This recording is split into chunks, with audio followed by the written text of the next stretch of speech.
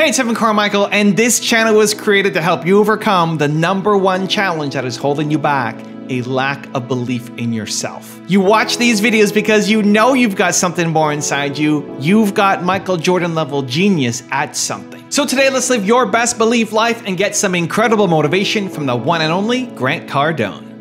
Enjoy. Every business, I have five companies now. We'll do 100 million this year. I started every one of those companies with no money. Zero money, man. Just hustle and grit and courage. I've called on people I didn't want to be with. I've done things I didn't want to do, okay? It is not about doing what you love, it's about doing whatever it takes to make your dreams a reality, to be closed and stay closed. If you're not closed on your product, if you're not buying your own product, why would you expect anybody else to? Man, 400 bucks is a lot of money. Your prospect says to you, $400. Do it. Listen to me, man. You're 32 years old. You've been trying to save money for 20 years and you hadn't. Do it and do it now. I don't need anything special here. I'm not going to be empathetic. Quit being stupid. Write the check. I don't know if the compliance guy likes that or not.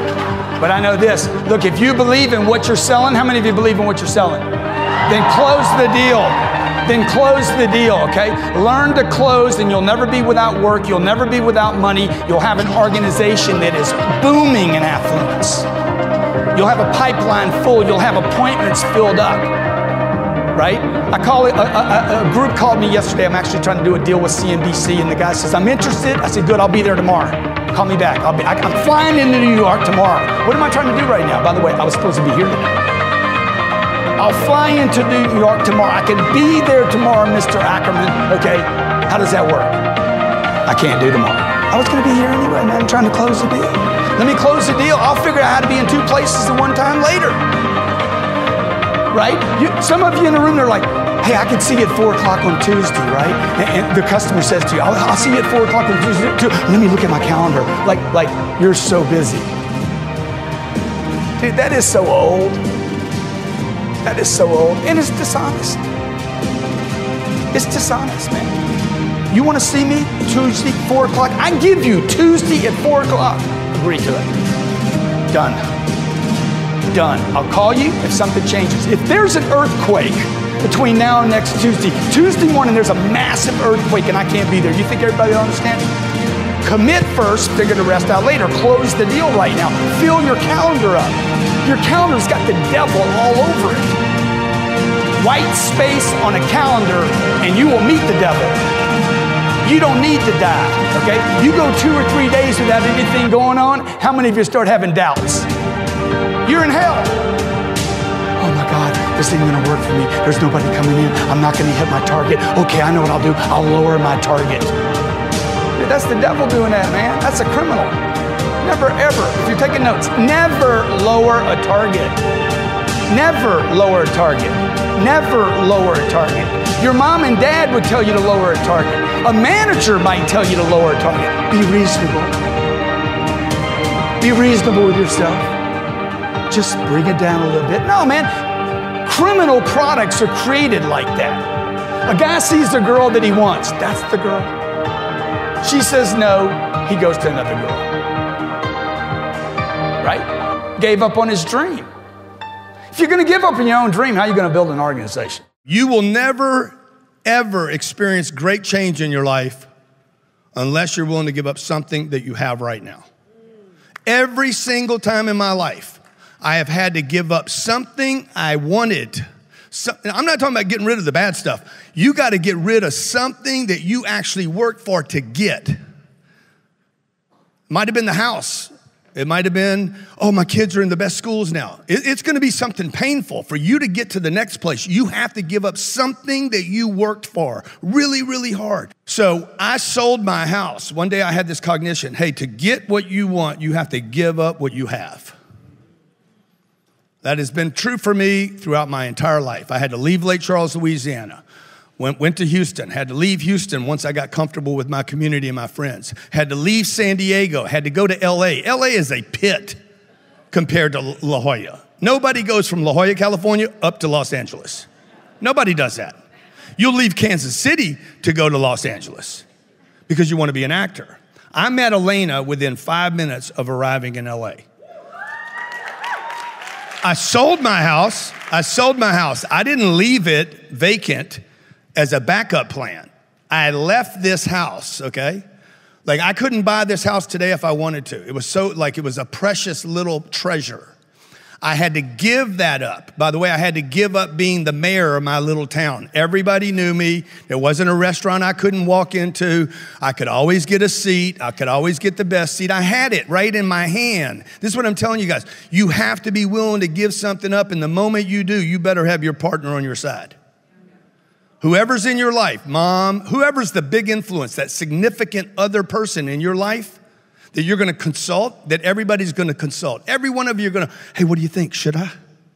You better have that person on your side. In my case, I was by myself. So my consultant was like, You gonna do this, dog? I called my buddy, Dale. Dale, you think I should? He's like, You're miserable, bro. You got everything you want and you're miserable. He's like, What, what do you have to risk? Sold the house, went to Los Angeles, lived in a hotel. I went from a, a house on the ocean to living in a hotel. Uh, the hotel room was probably like, I don't know, maybe the size of this stage.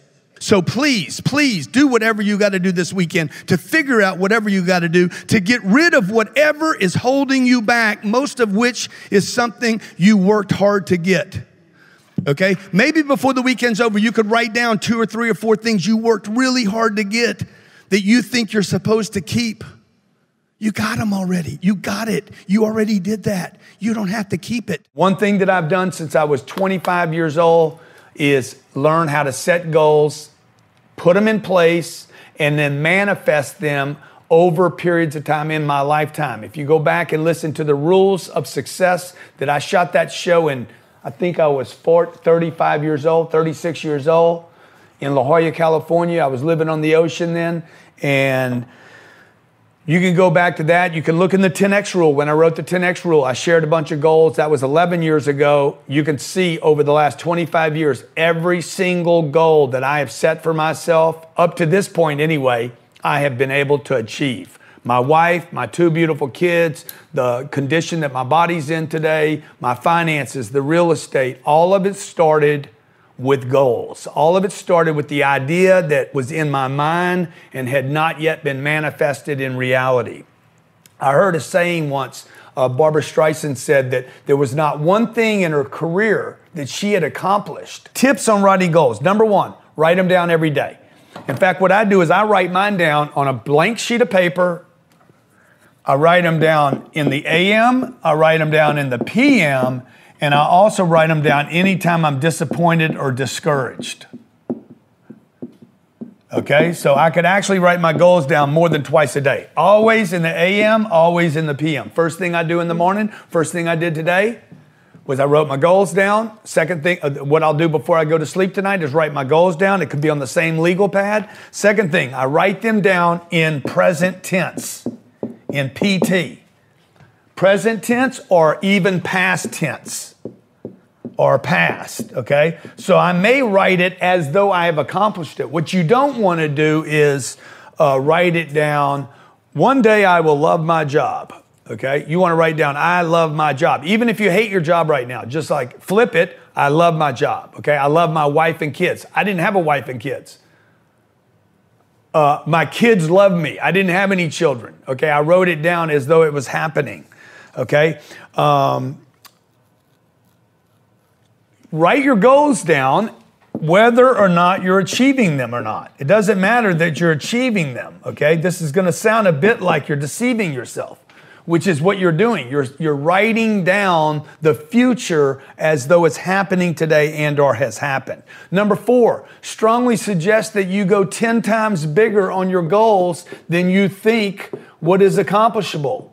Okay? I say go big or go bigger, baby. Okay? Go bigger, go bigger. There is nothing wrong with big think. It doesn't cost anything. Okay? You can't get taxed for thinking big. And it's not just, okay, I'm going to dream big and big things are going to happen. Okay? I am going to uh, write down, hey, I'm trying to achieve X in my life. I'm trying to go from here to 10 times bigger than I can think.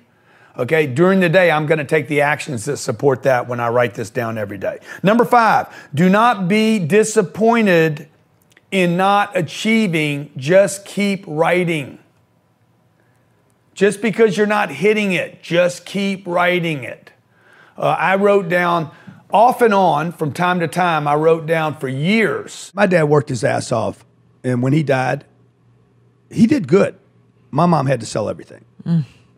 And so I'm like, okay, that didn't work. But he was considered successful, the middle class successful, briefcase, mm-hmm. good job, professional, people respected him, saved his money, had life insurance, house was paid for, everything by the book. And she was unloading stuff the next week because she was terrified. And so from the age of 10 to like 16, 17 years old, fuck, we were just scared, dude. Mm. Clipping coupons, buying everything on sale, single mother. Everywhere she goes, she knows they're going to rip her off. The plumber, the mm. roofer, the car dealer, everybody's going to rip her off. Right. So she thought. Save your money, save for a rainy day. Yeah. Right. You know, a penny saved is. Right. Yeah. A penny earned. It's yeah. not. It's a penny. Yeah. Right. It's a penny. Yeah. I mean, it's a penny, dude. Yes. You won't even pick a penny up today. You ain't with a penny. Dude. you, yeah. you know, 50 cent? Yeah. Come on, man. That's 50 pennies, my yeah, yeah. You know, people say the dumbest things. It could be family, it could be your wife, your husband, it could be a, a mom, a dad, an uncle, an aunt, it could be your kids coming from school. People say what they think, and what they think will be what they say, and what they say and think often enough, long enough, reinforced enough, I promise you, will be what they do. Okay? So look at some of the dumb things you say, like this. Here's one dumb thing people say time heals all things. Really. You get a splinter in your foot and you don't pull the splinter out. You don't look at it, confront it, and say, I got to pull that little booger out. I got to pull that little splinter out. If you just leave it there, you might get used to it. Yeah, you'll get used to it. 30 years goes by, you still got a splinter in your foot. Who knows that splinter gets into your bloodstream, goes to your heart, spikes your heart, kills you. Time does not heal all things, folks. You know what heals all things? Taking a look at it, having the courage to look at it. Hey, what happened to me? How did I screw up here? What, what hurt or what pain or what happened that I had a loss? I see people go through life with all these losses, unwilling to look at them, all crippled by the time they get older, not old, but they looking old, because they believe that time heals. Look, time heals when you confront it, when you look at it, when you pull the splinter out and take responsibility for it. Don't believe everything you believe. You know what I'm saying? Because some of the ideas you got, they just dumb. And dumb things will cause you to do dumb things. Look, if you're 50 years old and you're hearing this message right now and you're like, man, how could I ever do that? I started my game when I was 51 years old. Literally. I was 51 years old. I had flown 3 million miles on American and Delta and United and Continental, flew them all, and Southwest and Northwest. I flew them all. Did whatever I had to do. Most of the time I was flying coach. Most of the time I was flying coach in order and hoping for an upgrade. Uh, sometimes I was just flying on award miles. I was doing everything I could, busting my ass, saving my money, parking my dough. I was flying, I don't know, probably 125,000 miles a year. I barely saw Elena. And Elena and I got Sat down one morning. We didn't have any kids yet. Boy, my right arm started to get tired. Holding this. And uh, we said, hey, we got to change the game, man. Uh, I'm going to destroy my life, my health. I 51 years old, buying commercial everywhere. And literally, we got on the same page, came up with a plan. Here we are today. So like, proud of you. Yeah, thank you. If you're over 50 years old, and you're hearing this message right now, and you, you're not where you want to be. Maybe you're married. Maybe your marriage is paying a price right now, and you're busting your ass, man. And you're like, how do I ever get ahead? You see these people on these planes over here? Thank you. See these people on these planes? You're like, how do they do that? Look, you got to figure out one, are you committed? Because a lot of you just going to give up. You're going to be like, like I used to do that. You'd be like this. It's impossible to ever have this. Impossible. So number one, you got to be like, hey, it is possible. If I can do it, you can do it. If they can do it, if they can do it, look, it's possible. So first you got to say, hey, it's possible for me if it's possible for them. How'd you get started? Like, what was your first company? What did it look like? How, how did all that happen? My first company was working for somebody else. You know, like until uh, it wasn't until I figured out how to make somebody else rich that I could be, be rich. Like, I hear a lot of guys saying, oh, I don't, don't want to work for somebody else. I don't want to keep making other people. When I became successful in another company, and then left that company and went and worked for another company and made them super successful to the point to where these companies were literally dependent upon me. Like that, that that's the thing, that's the muscle and the grit, the, the uh, pers- persistence and fortitude of like, you know what? I don't, my ego wasn't like, I need my name on it. But my ego was strong enough to say, I want to be the best in the company. Like, I want to make this company dependent upon me. The first company, the first real job I had was my sixth job. I was fired from my first five. Fired from my sixth job six times, but wouldn't leave the last one. I just would not leave. So, literally, like, I'd wreck stuff. I, I have a, t- a terrible driving record, and I, and I, was in the car business. And I'd wreck their cars, and, and they'd fire me. And I'd say, okay, okay, okay. And I had a bunch of other problems as well, but and then before I would leave, I would go sell something, and then they would keep me on. If, if selling something was always forgiveness. So um, when I finally left that company, they went under. Like they could, my production was so high that one person leaving, the entire company failed. Went to my next job, which was speaking, consulting, using my sales um, philosophies and gifts, if you will. Uh, and we would go around companies and teach them. And I worked for him for 20 months. I was like the top guy in his company. Now, the, the, reason I'm saying that is that was a job for me and that was a business. I treated that little, my little department like this is my company within a company. And, and I wanted to make that company as strong as possible so that when I made, when I finally went out on my own, which I was forced to go out on my own, I, I didn't want to go out on my own. I went out on my own just because there was just no opportunity left. And there, there was no way for me to score where I was which I, I, still remember today. It's important to get good people to keep them. That like you got to give them some other pond to, to, to, swim in. And so when I started my first company, at, uh, I guess I was 29. Um, that was a company where I was cold calling on businesses around the U.S. and Canada. I can tell you, for me, like I was always scared of money, you know, uh, and and I was terrified of it. So so like if you look at still today, like I look at the bill of everything it's a bill of everything. If something costs something, I want to know how much it was. Uh-huh. And so, like, how much is it? Like, I'm going to ask that question, whether whether it matters or not. Um, it doesn't matter where I get in my life. I, I don't think I'm ever going to be free of how much was that? How much was the dinner? How much was how much this? was dinner? How much was the tip? How much was the coat? How much was the jacket? What did the, you know? Me, uh, me and Elena. Like Elena's like, hey, it's going to be fine, man. Like look what look look look look at what you've done. We cannot spend this. And I'm like, how much was it? I want to know how much it was because when I grew up, do you had to know what things cost. Mm-hmm. And so the point your your question about money is is a terrifying thing because it's the one thing in life that you know the NFL is not going to give me the ball, mm-hmm. and and I'm never going to get a chance to golf. I can't win in those environments, but with money, everybody gets money. It's the one place where everybody gets it, and now what do I do? Mm-hmm. And I, I can lose it now. So it's a terrifying concept, like like power. You know, very few of us ever ever get any kind of influence or power, right? Once you get it, you're like, hey, what do I do with this? You know, am I going to do it? I'm going to, am I going to do the right things with it? Mm-hmm. And so I think people withhold themselves because they don't, we're not educated about money. We don't know where it comes from. We have a lot of misinformation about it. Our parents terrified us. You know, money doesn't grow on trees. Uh, save your money; it'll save you. All these these these things our parents told us because they were enamored mm-hmm. uh, or or encumbered with the same kind of liabilities around money. Right. I don't know how to get it. I don't know how to keep it. And the, th- the third, the worst part that we're all at is I don't know how to invest it. Yeah. So what I'll do is I'll, some people get good at getting it. Very few actually. Fewer people at keeping it, but probably more than getting it. Mm-hmm. There's probably a big group in America that have learned how to keep money. Because they're afraid to lose it. They don't so want to invest it. They don't want to use it. They don't want to, you know, um, you know, Kanye talks about this, how white people, how white people save all their money and they just keep it. They just store it. Like I had a, an uncle, he buried everything he ever made. it went in the backyard. Wow. The other uncle was was um, he was he was a guy that bought he, he he worked hard, very very frugal, Italian descent, and he would uh, buy buy real estate, but it was always buy low and sell high. He actually never sold anything, but that was the concept: buy low, buy the cheapest, lowest, get everything on a deal.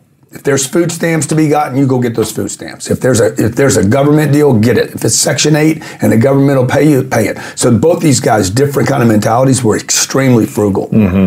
My other uncle was uh, worked in a refinery. He basically saved all his money, paid everything off, got out of debt. That was their lifestyle. My dad died when I was ten. So he paid all his debt off, had everything paid, and, and so that's all I had, right? Everybody around me was like, get money, Keep it. keep it, don't use it, you know, but you, but you should invest, but nobody ever learns that third one. Mm-hmm. And and so I think we're just a bunch of people walking around terrified of this this apparent apparency of it's scarce Right. and it's not. Mm-hmm. And, and and you know it's not. There's nothing scarce about it. You know, I'm always keeping it real with you. What has happened to our country that we make our idols and our icons and our heroes rappers and entertainers and ball players, and then we show disgust for a businessman that can bank 50 million a year or 20 million a year? What is wrong? Look, when a guy can go out and make passive investments, great decisions, execute, show tremendous discipline, okay, and disconcert between good investments and bad investments, and then make 20 million or 30 million bucks, pay three or four million dollars in taxes, three or four million dollars to his charities, his churches, his community, helps out with groups of people and, and we have discontent for the businessman that's out there year after year making great investments, great decisions, showing leadership in the marketplace. Look, that marketplace out there, that economy is the most savage, most difficult playing field in the world to negotiate. Yet, who do we admire in our culture? Rock stars? Look, these guys got great skills. Kid gets out of school, makes 12 million a first year, and, and we make posters of them and sweatshirts. And, and you put their kids in their jerseys. But what about the business people that make our economy work?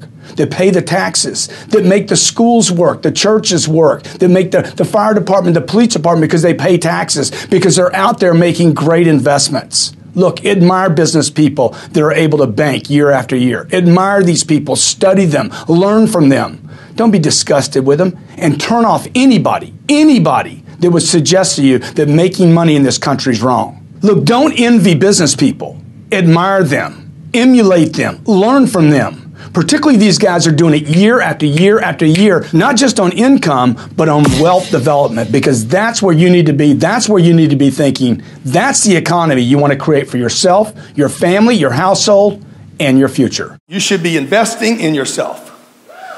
Some of you got more money in Wells Fargo, Bank of America, Citibank than you do in yourself.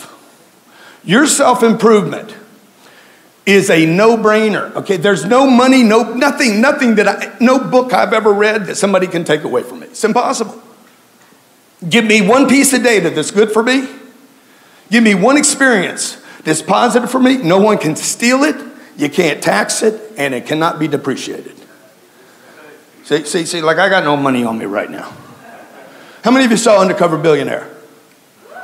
Yeah, you should, you should take a look if those of you didn't see it. You don't need money to make money. Okay, you need people. As long as you, as long as you're willing to extrovert yourself into the community and meet people. Hey, how you doing? What's up? Who are you? I'm a guy. Like you, you don't even know how to do it right. You just need to be like, hey, what's up? Everybody try this. What's up? No, no, what's up? See? People can be like, what's wrong with him? You should practice that this weekend. Every time you go to the restroom or go to the bar, hey, how you doing? Hey, hey, hey, hey, how you doing? Who? Hey, what's up? You know, just say hi to people. Just get used to extroverting yourself onto people because people that you don't know have everything that you want. And it's going to make you feel better about you. You got to go out and earn money, period. Well, you don't really need to earn it. You just need to collect it. You need to get it. When you go around the money game, you got to remember this, okay? There is no shortage of money on planet Earth. There is no shortage of success on planet Earth. There's more money than there is people. There's more money than there are trees. There's more money than there are phones, and there's a lot of phones on this planet. There's more money than there is TV shows. Like, you can't pick anything. And by the way, anytime there's more of something than there is money, they just print more money. Money is printed. You don't need to make it. You need to collect it. You need to collect it. You need to earn it. You need to get it. So when you do your money target, okay, the next thing you're going to connect to is how do I get this money?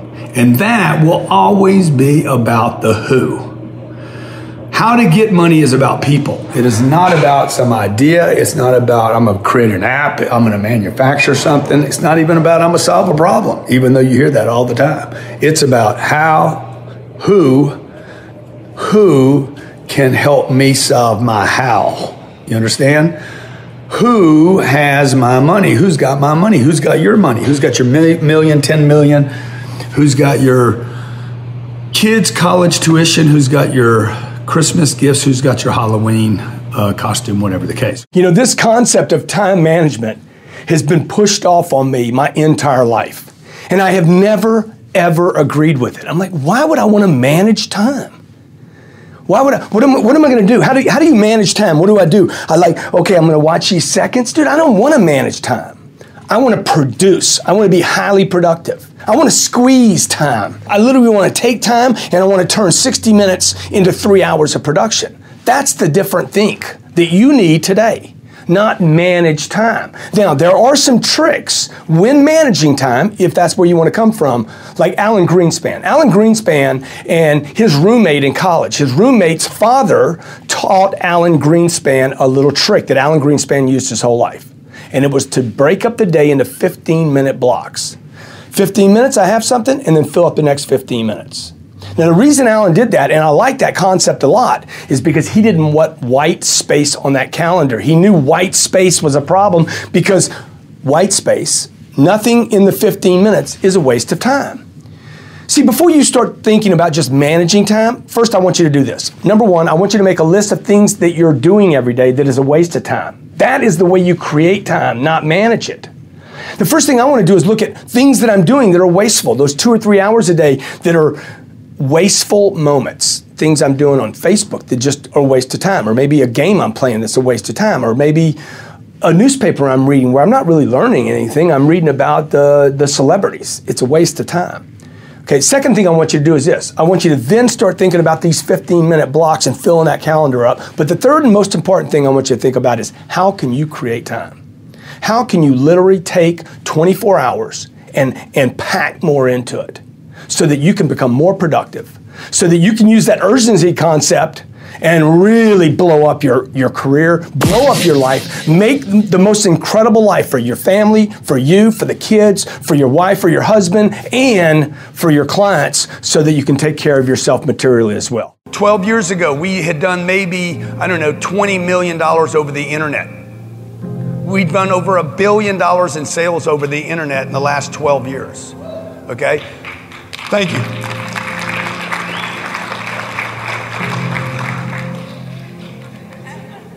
Like, you guys got to learn how to use enthusiasm. Like, when you use it, use it. Like, the more you use, the more you get.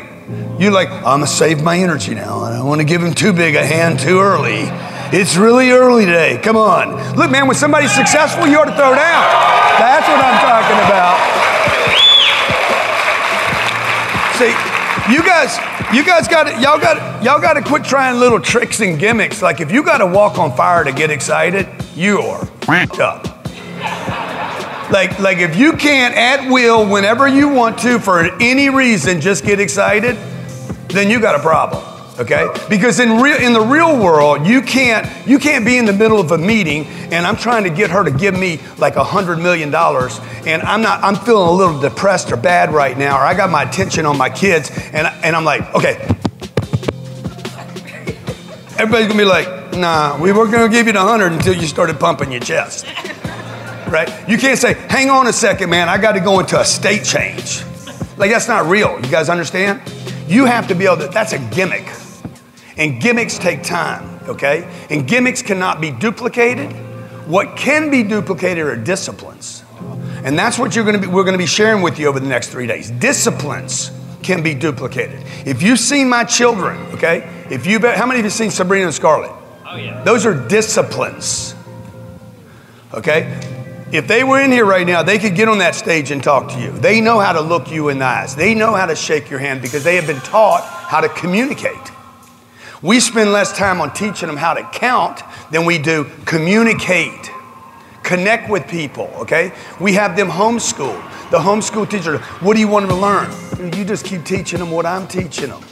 You teach them confidence. You teach them poise. You teach them the ability to communicate. Be dangerous, not careful, okay? We teach our kids how to be dangerous. I, I, teach my kids how to meet strangers and greet strangers. We teach our kids that strangers have everything they want and strangers are not dangerous. Okay? Is there danger in the society? Yeah. That's what those guys are for over there. So I'm going to put my kids in an environment where they can meet 99% of the people and feel safe to meet them, talk to them, communicate with them. So I want to make sure that my kids can walk into an environment and have zero concern about him, her, or him. And they can walk out and say, hey, I want to meet you because strangers have everything that you want. The people you don't know and haven't met. These guys, these guys dressed in their robes. What do you call the robes? The Kandora, okay? I have one in my closet, by the way. I love the Kandora. I put the Kandora on one time and I was like, I'm a bad, bad man. Dude, I felt so freaking powerful. It was amazing, okay? I grew a beard. I'm like, now I'm a man, okay? Give me a camel. Okay, it was like it was like phenomenal, right? Like, but but you you guys need to have that kind of swag everywhere in life. And regardless of how old you are, 25 and you're like, I'm too young to have swag, or 55 and now you're too old, it's not true. You just need to get the confidence, the bravado, not fake it. You don't need to fake it. You need to, you need to get, you need to get confidence. If I could get rid of this right here in life, if I could get rid of these downs, man, how confident would I be? I mean, like I'm going into every deal, I'm a win. And that is possible, folks, okay? But it starts with who knows me? Because if I'm walking around this planet and nobody knows me, I'm gonna be terrified. Be a better guy, man. I mean, you know, just be a good guy and be, be, you know, the thing I'm proud of is I get to be Grant all the time. Mm-hmm. You know, I'm actually getting to the point where I'm like, hey, man, I, I finally got to be what I, I, I finally became what I wanted to be. Mm, what was know? that? Me. Yeah. You know, that, that I don't have to apologize anymore and that I quit mm. screwing up and I quit having to call people and say, hey, man, I, I, I went too far, you know. If I could just pull some of that back without that drug that, that that psychiatrist was trying to use. Right. You know, that if I'm less dependent upon aggression, you know, and I could I could kind of manifest more, you know, like you you talk about. Let it let it flow more. Let yeah. it flow, dude. Yeah. Let it flow, you know. But but if I could get that perfect balance of aggression and flow, that's a sweet you know, spot. Yeah, it's sweet, dude. It's hard to find that thing. That's a sweet spot. You know, to be that. I don't want to be. I want. I don't want to be the little stream that drips. You know, I want to be like Mm-hmm. But I don't want to damage anybody. Right. I don't want to hurt anybody. You know, I don't want to. I don't want to be in competition anymore. Mm-hmm. But I also don't want to lose the edge. Right. You know, it's a dance, it, dude. It's a dance. It's a dance, man. You know, like like your girl said to me the other night. She's like, she said something before she left. She's like, I really get who you are. Mm. You know, that, and that hits me mm. when people say that to me. Most people don't get who I am. Mm. That's beautiful. You know, and then she said, I really get who you are. Yeah. And, and, and a lot of people don't.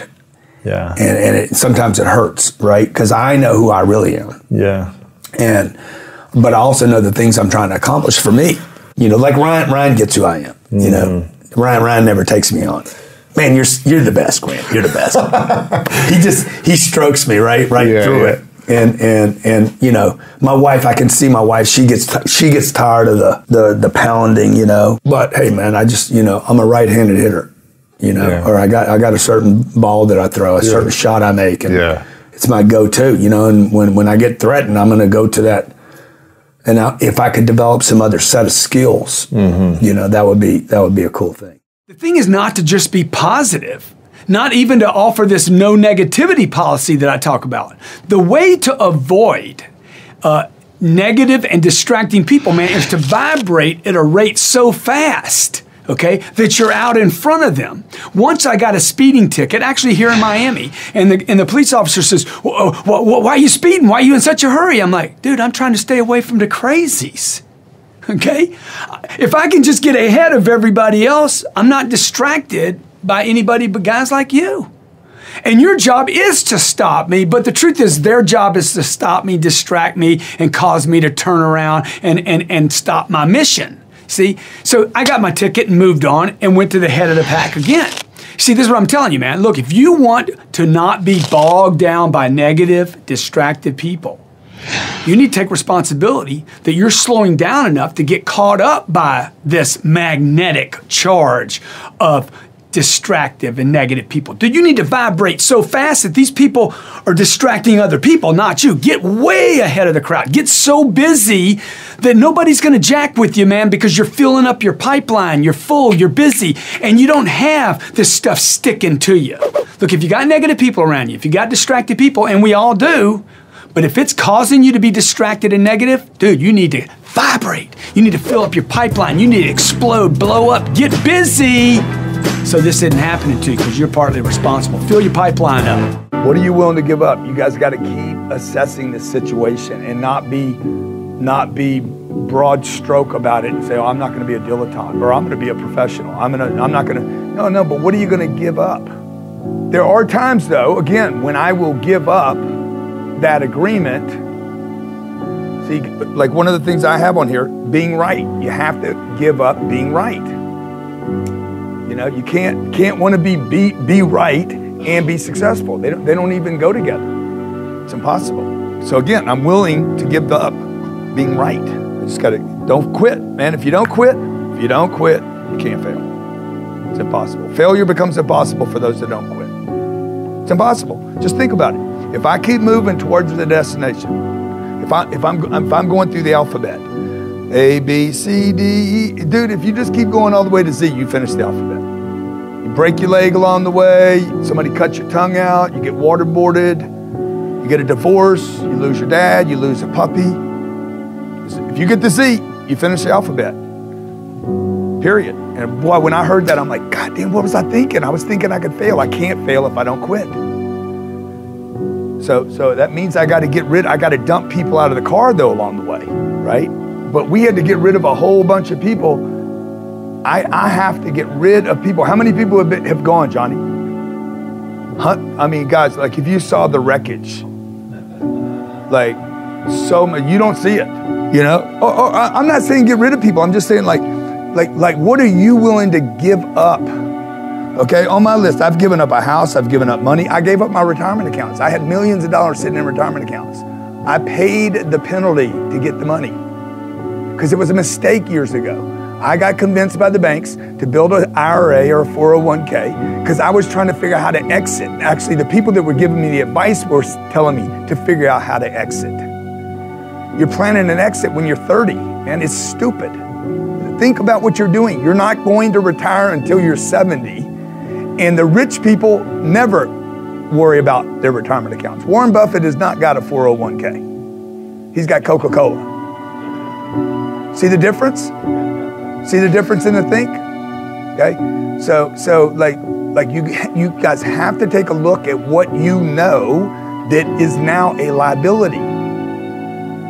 What you know to be true that has become a liability for you.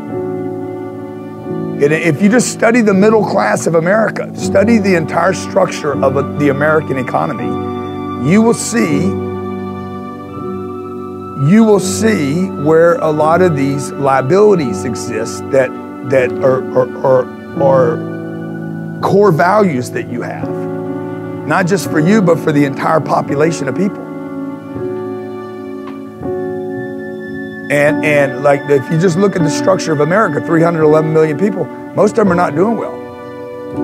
You hear about it every day. So the solution is let's give everybody college. You know, let's give everybody college. Well, college could be one of the problems. Look, you know, let's make sure everybody gets through high school. Okay, could be one of the problems actually that it takes 12 years to learn how to count and still no product, really. So anyway, I'm not saying I'm not worried about try, trying to change all that. I'm just saying you might want to look at how some of that has influenced you. You know, the retirement accounts, the life insurance. How many of you got life insurance? How many of you got some cash value sitting there, some hope? Dude, get the money. Don't wait till you die. Uh, the third thing I would say about wealthy people is they're, I mean, different people have different ways they invest, but they tend to be more focused on the long term appreciation of an asset rather than give me money this second. And, and I think the they're, they're, they're not stuck in this get rich quick thing. It's a delayed gratification. Yeah, they're more like, yeah, I'd rather have wealth tomorrow than rich today. Hmm. And, and they do have a distinction between the rich and the wealthy. The, the, you know, the super wealthy are looking to create wealth beyond their own means and needs. Like they're not thinking about their kids, their boat, their plane. I know people think that, but that's not actually true. They're actually thinking about how do I create wealth for a, a lot of people. Amazon's got a million employees. Now, now, most of them only earn minimum wage, but there's some people at the upper level of Amazon that are making fortunes. Success is vital. I have, you maybe you've heard me say this before. It's worth writing down again. Success is your duty. It is your obligation and your responsibility. Success to me is as vital to my survival as oxygen, food, and water. Shelter. I got to have shelter. I got to have water. I have to have oxygen. I need food, okay? I need love in my life, okay? I, I need people. I need human interaction, and I also need to win. If you don't have success in your life, you will lose discipline, you will lose activity, you will lose contacts, and you will not be consistent. You will not have them. This is the vital part of success. This is why I'm pounding to you. The only trick in this universe, if there is a trick at all, is you must be successful. Success is not an option. It is your duty. It is your obligation. It is your responsibility. 2022, if it's going to be good for you and your family, if it's going to be great for you and your family, it is because you demand success this year. And that means you demand success in your relationships, in your finances, and in your money. Uh, your money and in your business. Your business has got to grow for your finances to grow. The reason the guys on Wall Street and the gals on Wall Street make so much money Okay, it's not because they're they're they're like capitalists and they're terrible people. It's because they're surrounded by people that are making money, man. They're accountable by their stock price. They're accountable to their production. They got people around them that expect them to win and do well, and also they're going to dinner, waking up at breakfast, working out in the gym with other people that are winning big in life. Okay, so you need feedback from your environment and your network Fourth thing you need is you got to have, fifth thing you need is you got to have a network of people that are encouraging you to kill it. You got to have the right network. You got to have a LeBron in your game, man. If you're playing in the NBA and LeBron's like, I'm going to take you under my wing, bro. Okay, Kobe's like, hey man, I want, I'm coming back to be with you, man. What would you deny that? Okay, Michael Jordan, I want to be with you, man. Mm-hmm. Tiger Woods, I want to golf with you. Come on, guys. What are you doing? You cannot do this alone.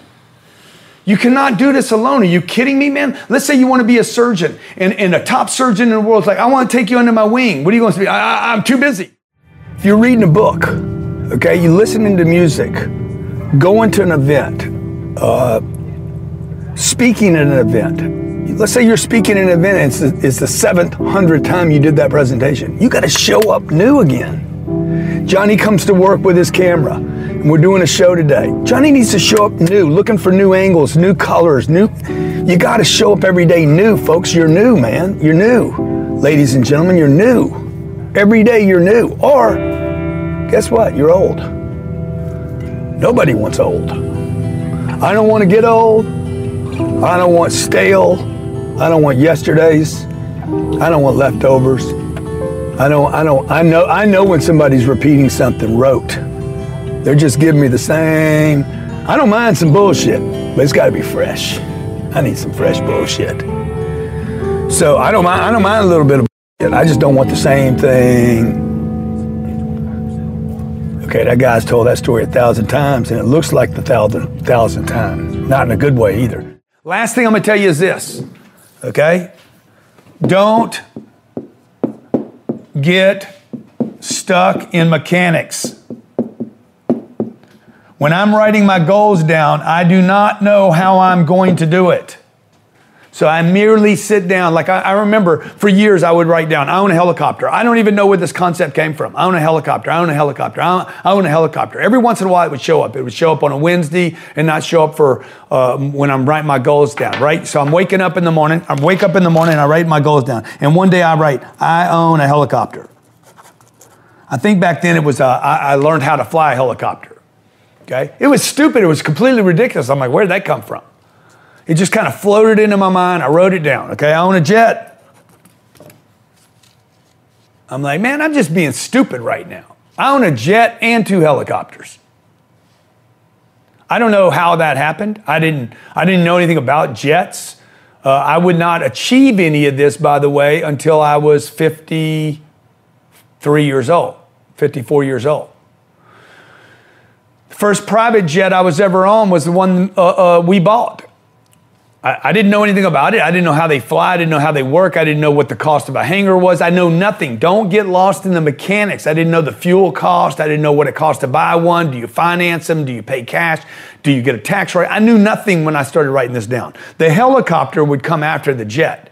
Okay, I bought a helicopter. I didn't know why. So the point of that story is when you're writing your goals down, literally sit down with a blank sheet of paper, first thing you wake up in the morning, and you just start zip, zip, zip, zip, zip. You write through them. Like this morning, I wrote down 40 billion in real estate. Okay, public. I write down one word. I'm going public. See, I know now that this, this is in present tense and or past tense. I write it in present or past tense. I'm going public. Okay. I wrote down recently uh, a congressional hearing People are like, what, what's a congressional hearing? Dude, I'm so big now, they called me into Congress. they're going to have a congressional hearing. They're going to drill me. Okay? Oh, yeah, then I wrote this down uh, a political office. Now, I don't know why. I don't know why I'm writing that down. I don't know how to achieve that. I don't know what it would mean. I don't know what it looks like. I don't get stuck in the mechanics. Don't worry about it. Commit first. Commit first, man. Just keep committing it, keep fueling it, keep writing it down. Eight billion people know my name. The third thing the super successful do is they master income creation. I was asked this morning, I left my home at four o'clock in the morning. I was on a plane at five. Okay, and a guy asked me, he's like, dude, why are you still cranking so hard? Because I don't have any money. I'm always broke. I reinvest all the money. Every time I get any money sitting in accounts, I take it and invest it in hard assets, illiquid assets. Illiquid so that I cannot get that money. That's what keeps me motivated, folks. I get money, liquid money. If it's not used, what? It's useless. Take it and I buy a hard asset that produces income. I'm broke. I got to go hustle again. I want to share with you the uh, not so secret way that thousands, tens of thousands, actually millions of people are becoming millionaires in America. They invest in assets that appreciate over time. They uh, invest in assets, in IPs that they control, royalties they control, things that they know over time will increase in value that there's a 99.9% chance that they're going to increase in value. And that's what they invest in. They don't make little bets, they make big bets, and they invest in things that they know will go up in value over time. That could be a sports team. Uh, chances you buying a sports team are next to none. Same for me. So you got to start thinking about, okay, what assets can I do that with? Okay. Oh, wow. I'm going to go create, I'm going to go create the next big thing.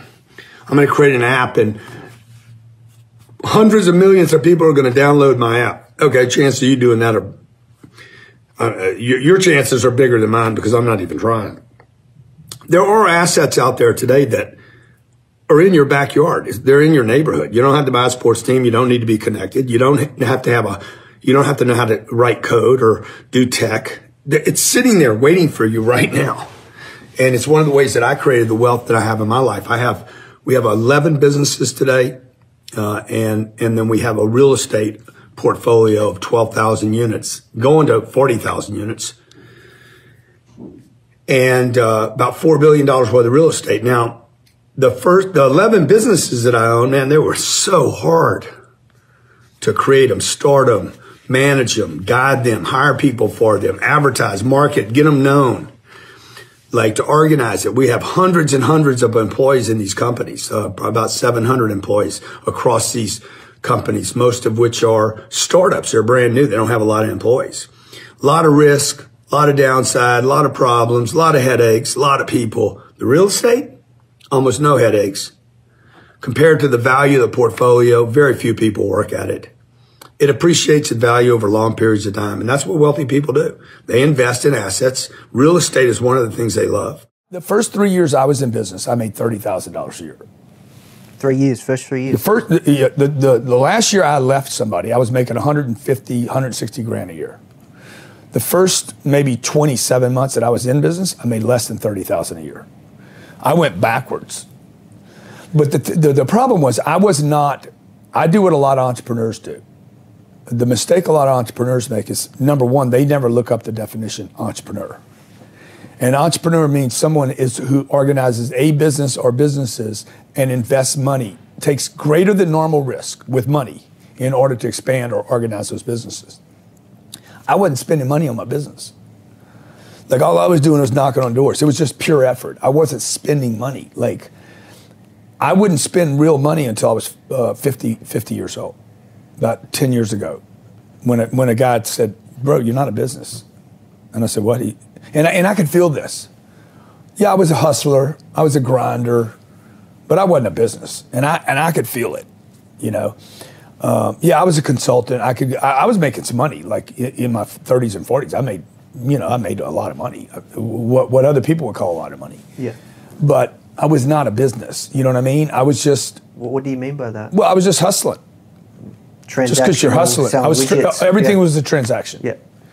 Everything, everything was a transaction to get money, pay the taxes, have a little bit of money left over. Everything was a transaction. Yeah. And um, and this guy's like, well, you know, you're not a business.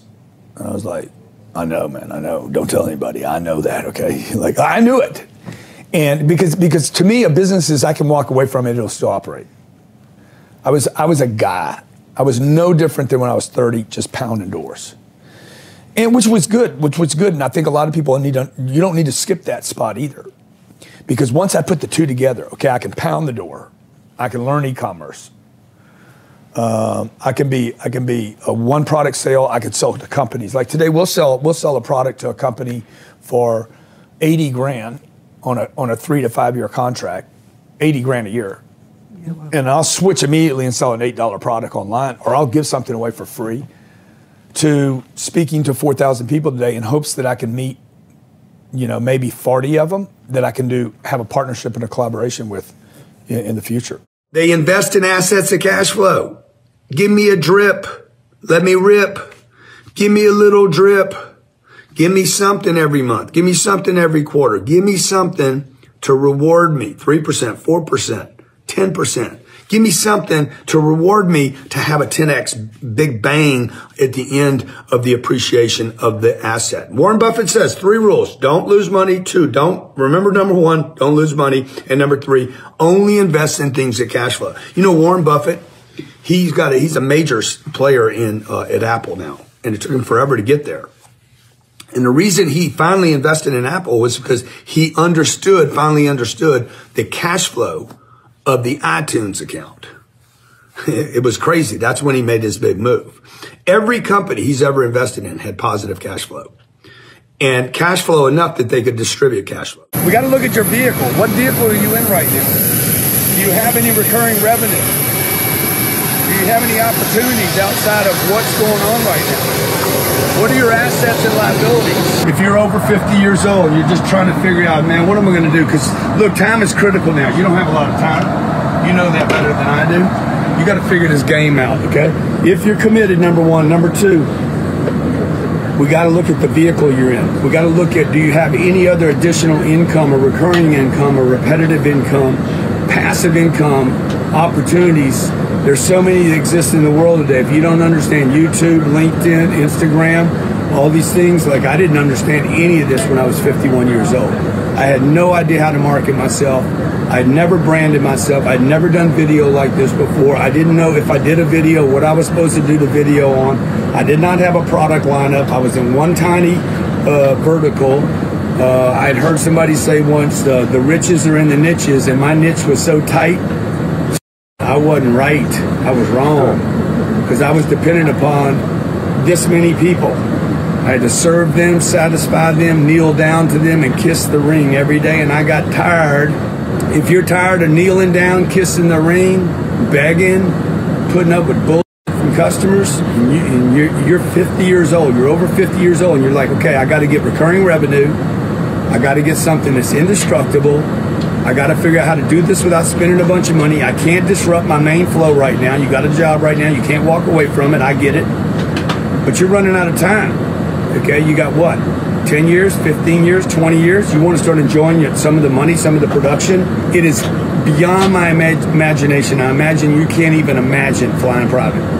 It's beyond my imagination that, that, that I'm getting rid of a plane and picking up a, another one. So if I can do this, I'm telling you guys, you can do this. Every time you see a private plane or a yacht or somebody living the life, just remember, if they can do it, you can do it. As long as you're committed to, if you find the right vehicle, just because you work hard does not mean you'll get it. You have to find the right vehicle. If you're in the wrong vehicle, you're in the wrong vehicle. Doesn't mean you need to quit your job right now. It does mean you, we need to figure out what the right vehicle is. And because of the internet, because of the access to the internet today, anybody, regardless of where you live, can figure out how to do this. 80, maybe 90%, maybe 95% without being a doomsdayer. 95% of the people in the United States of America, the wealthiest country on the planet, are suffering. No money, no freedom, no choices, can't leave their job, tied down. And they, most of those 95%, most of them, some of them are earning big wages 250 grand, 80 grand, 90 grand. Maybe you're in this group 60 grand, 58,000, 78,000, 112,000, whatever number you're earning. If you look at the the, the, the money left over at the end of the year, end of the month, end of the, the week, there's not a lot of money left over. 76% of Americans are living paycheck to paycheck. 55% of Americans have no money in a savings account. Okay? 90% of all the wealth in this country is owned by about less than 10% of all the people in this country. Listen to what I just said. You and I have been doing something wrong. We are using information that is outdated and no longer efficient for the kind of economy we're in today. Got all kind of disruption going on. You got to start thinking different about saving money, investing money, real estate, crypto, and how, you how you uh, do do you go over uh, many many investments or do you go hard on one? We need to look at what you have been taught about money that may be holding you back, that may not be the thing you need to be doing any longer. I'm here in Las Vegas right now. You know, when you walk in these casinos, almost everybody knows how to play blackjack. Almost everybody knows how to play the little games here. They even have books how to play the games. Uh, the guy gets a six. He's got a 16, and the dealer's got a six. He's like, oh, I'm not going to hit that card. And he sits there and he gets beat all night because he's playing by the book. I figured out two things. I figured out, oh shit, excuse the language. I've been doing everything wrong and thought it was right. I was doing exactly what the book said save your money, invest in mutual funds, plan for retirement, buy some life insurance. Um, what was the other one? Work hard. Oh, yeah, you got to work hard. And you do, by the way. That's not a myth. But I know a lot of people that are working hard that end up with nothing. Like my parents. My dad worked hard. He died at 52 years old. Heart blew up in his chest from stress and overwork probably for not taking care of himself enough because he was out there grinding, just pounding, pounding every day because he wanted to do one thing take care of his family. Probably same thing you want to do. Then my mom was left to raise five kids and only had a little bucket of money sitting over there in a savings account. So she's clipping coupons, terrified to spend anything, scared if the, if the plumbing breaks, scared if the roofer comes over, scared, terrified every day to spend one penny because she knew she was depleting the account that would take care of the family. Look, if you're experiencing any of these same things today, don't feel bad about yourself. Like you're not, you're not like, oh, what's wrong with me? What's wrong with you is you have the wrong information. You got the wrong information. It's not because you're lazy. It's not because you're stupid. It's because you have the wrong data. You need to unlearn some. You need to unlearn some stuff that mom and daddy and your teacher told you. Your mentor, your last guy, whoever you're listening to. If, if what you have now hadn't got you where you want to go, what you have now in your head might be keeping you from where you want to go. I started studying super successful people, not mediocre successful people, super successful people. Because prior to this, I had been studying anyone that had any level of success. Now, I grew up in the middle class. How many grew up in the middle class? Good. I grew up where we had bicycles. My mom had a car. We had gasoline in the car. We had food. I, had, I was uh, fed three meals a day. My dad died when I was 10 years old. My mother was there to take care of me. I came from a really good household. Okay, there was plenty of love. There was a lot of nurturing. There was plenty of food. There was something in the refrigerator at all times. There was some guidance. You understand what I'm saying? So the first thing I did was I started studying successful people, and I discovered something at 25 years old when my life, when my life and my business weren't working well. That, that, that super successful people was they, they used a different way to build their business than I was using. I was stuck mostly in a sales cycle from the age of 25 when I started my first company at 29 actually till the age of 45 for those 20 years I was stuck in a sales cycle and what I studied about super successful people is they spent a lot of money a lot of money marketing and advertising okay now, my mom was telling me not to do this. My brothers, my sisters, the people surrounding me, the people I work with, were not spending money on marketing and advertising. The second thing the wealthy do, the millionaires, the self-made millionaires do, is they play get rich for sure. I don't know if you've ever heard this term. Uh, I coined this phrase years ago. I'm not interested in get rich quick. I got some buddies that try to teach those courses. Cringe when I hear them. I don't want to get rich quick. I want to get rich for sure. I've always wanted to get rich for sure. I'd like, I just don't, I don't really care how long it takes as long as I'm not old and dead, but I want to know that I'm getting rich for sure. I'm not, I'm not a shortcut guy. Uh, I'm not a gambler. I'm not, I'm not the guy that's going to throw, put it all on one, um, one color. I'm extremely, extremely conservative when it comes to investing, uh, because I don't want to lose my money. Uh, my parents, both my parents, uh, came up through a time when um, my mother was in food lines, and and she told me that story so many times, dude. I, got, you know, I got scared that one day I'd be in a food line. So um, I don't want to get rich quick because I know that comes with the pain of busting out. Okay, and that might, by the way, keep me from being one of the wealthiest people in the world because I don't take these big chances. Uh, but if this if this is you, like you're thinking, yeah, I don't I don't want to I don't want to I don't want to I don't need the three week uh, thousand x return. I want to be able to invest my money in something. I get the tax write offs, I get the benefits, I get the cash flow, and uh, I get the long term appreciation. And that's what the wealthy do by, by in masses. They don't, they're not taking um, these crazy crazy chances.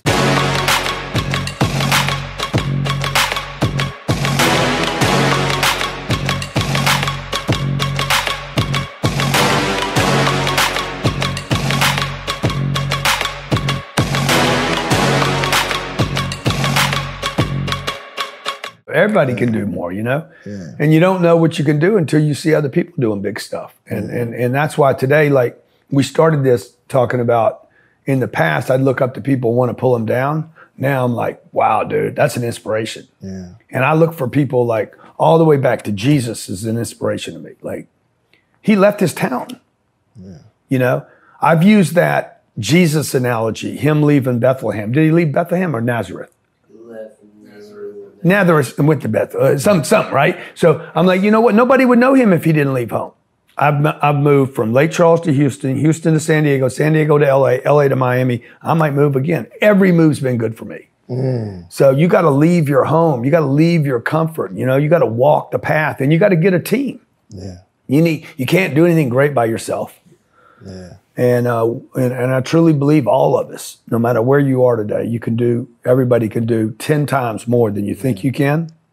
And before you get to 10x, you'll end up changing the goal to 10 times more. If I had one thing to do over again, I would be like, I would learn communication skills, speaking skills, debating skills. I should have taken a debating class because I really don't know how to debate. I just make people wrong, you know? So, uh, that, and that's not debating, but I get away with it somehow, you know?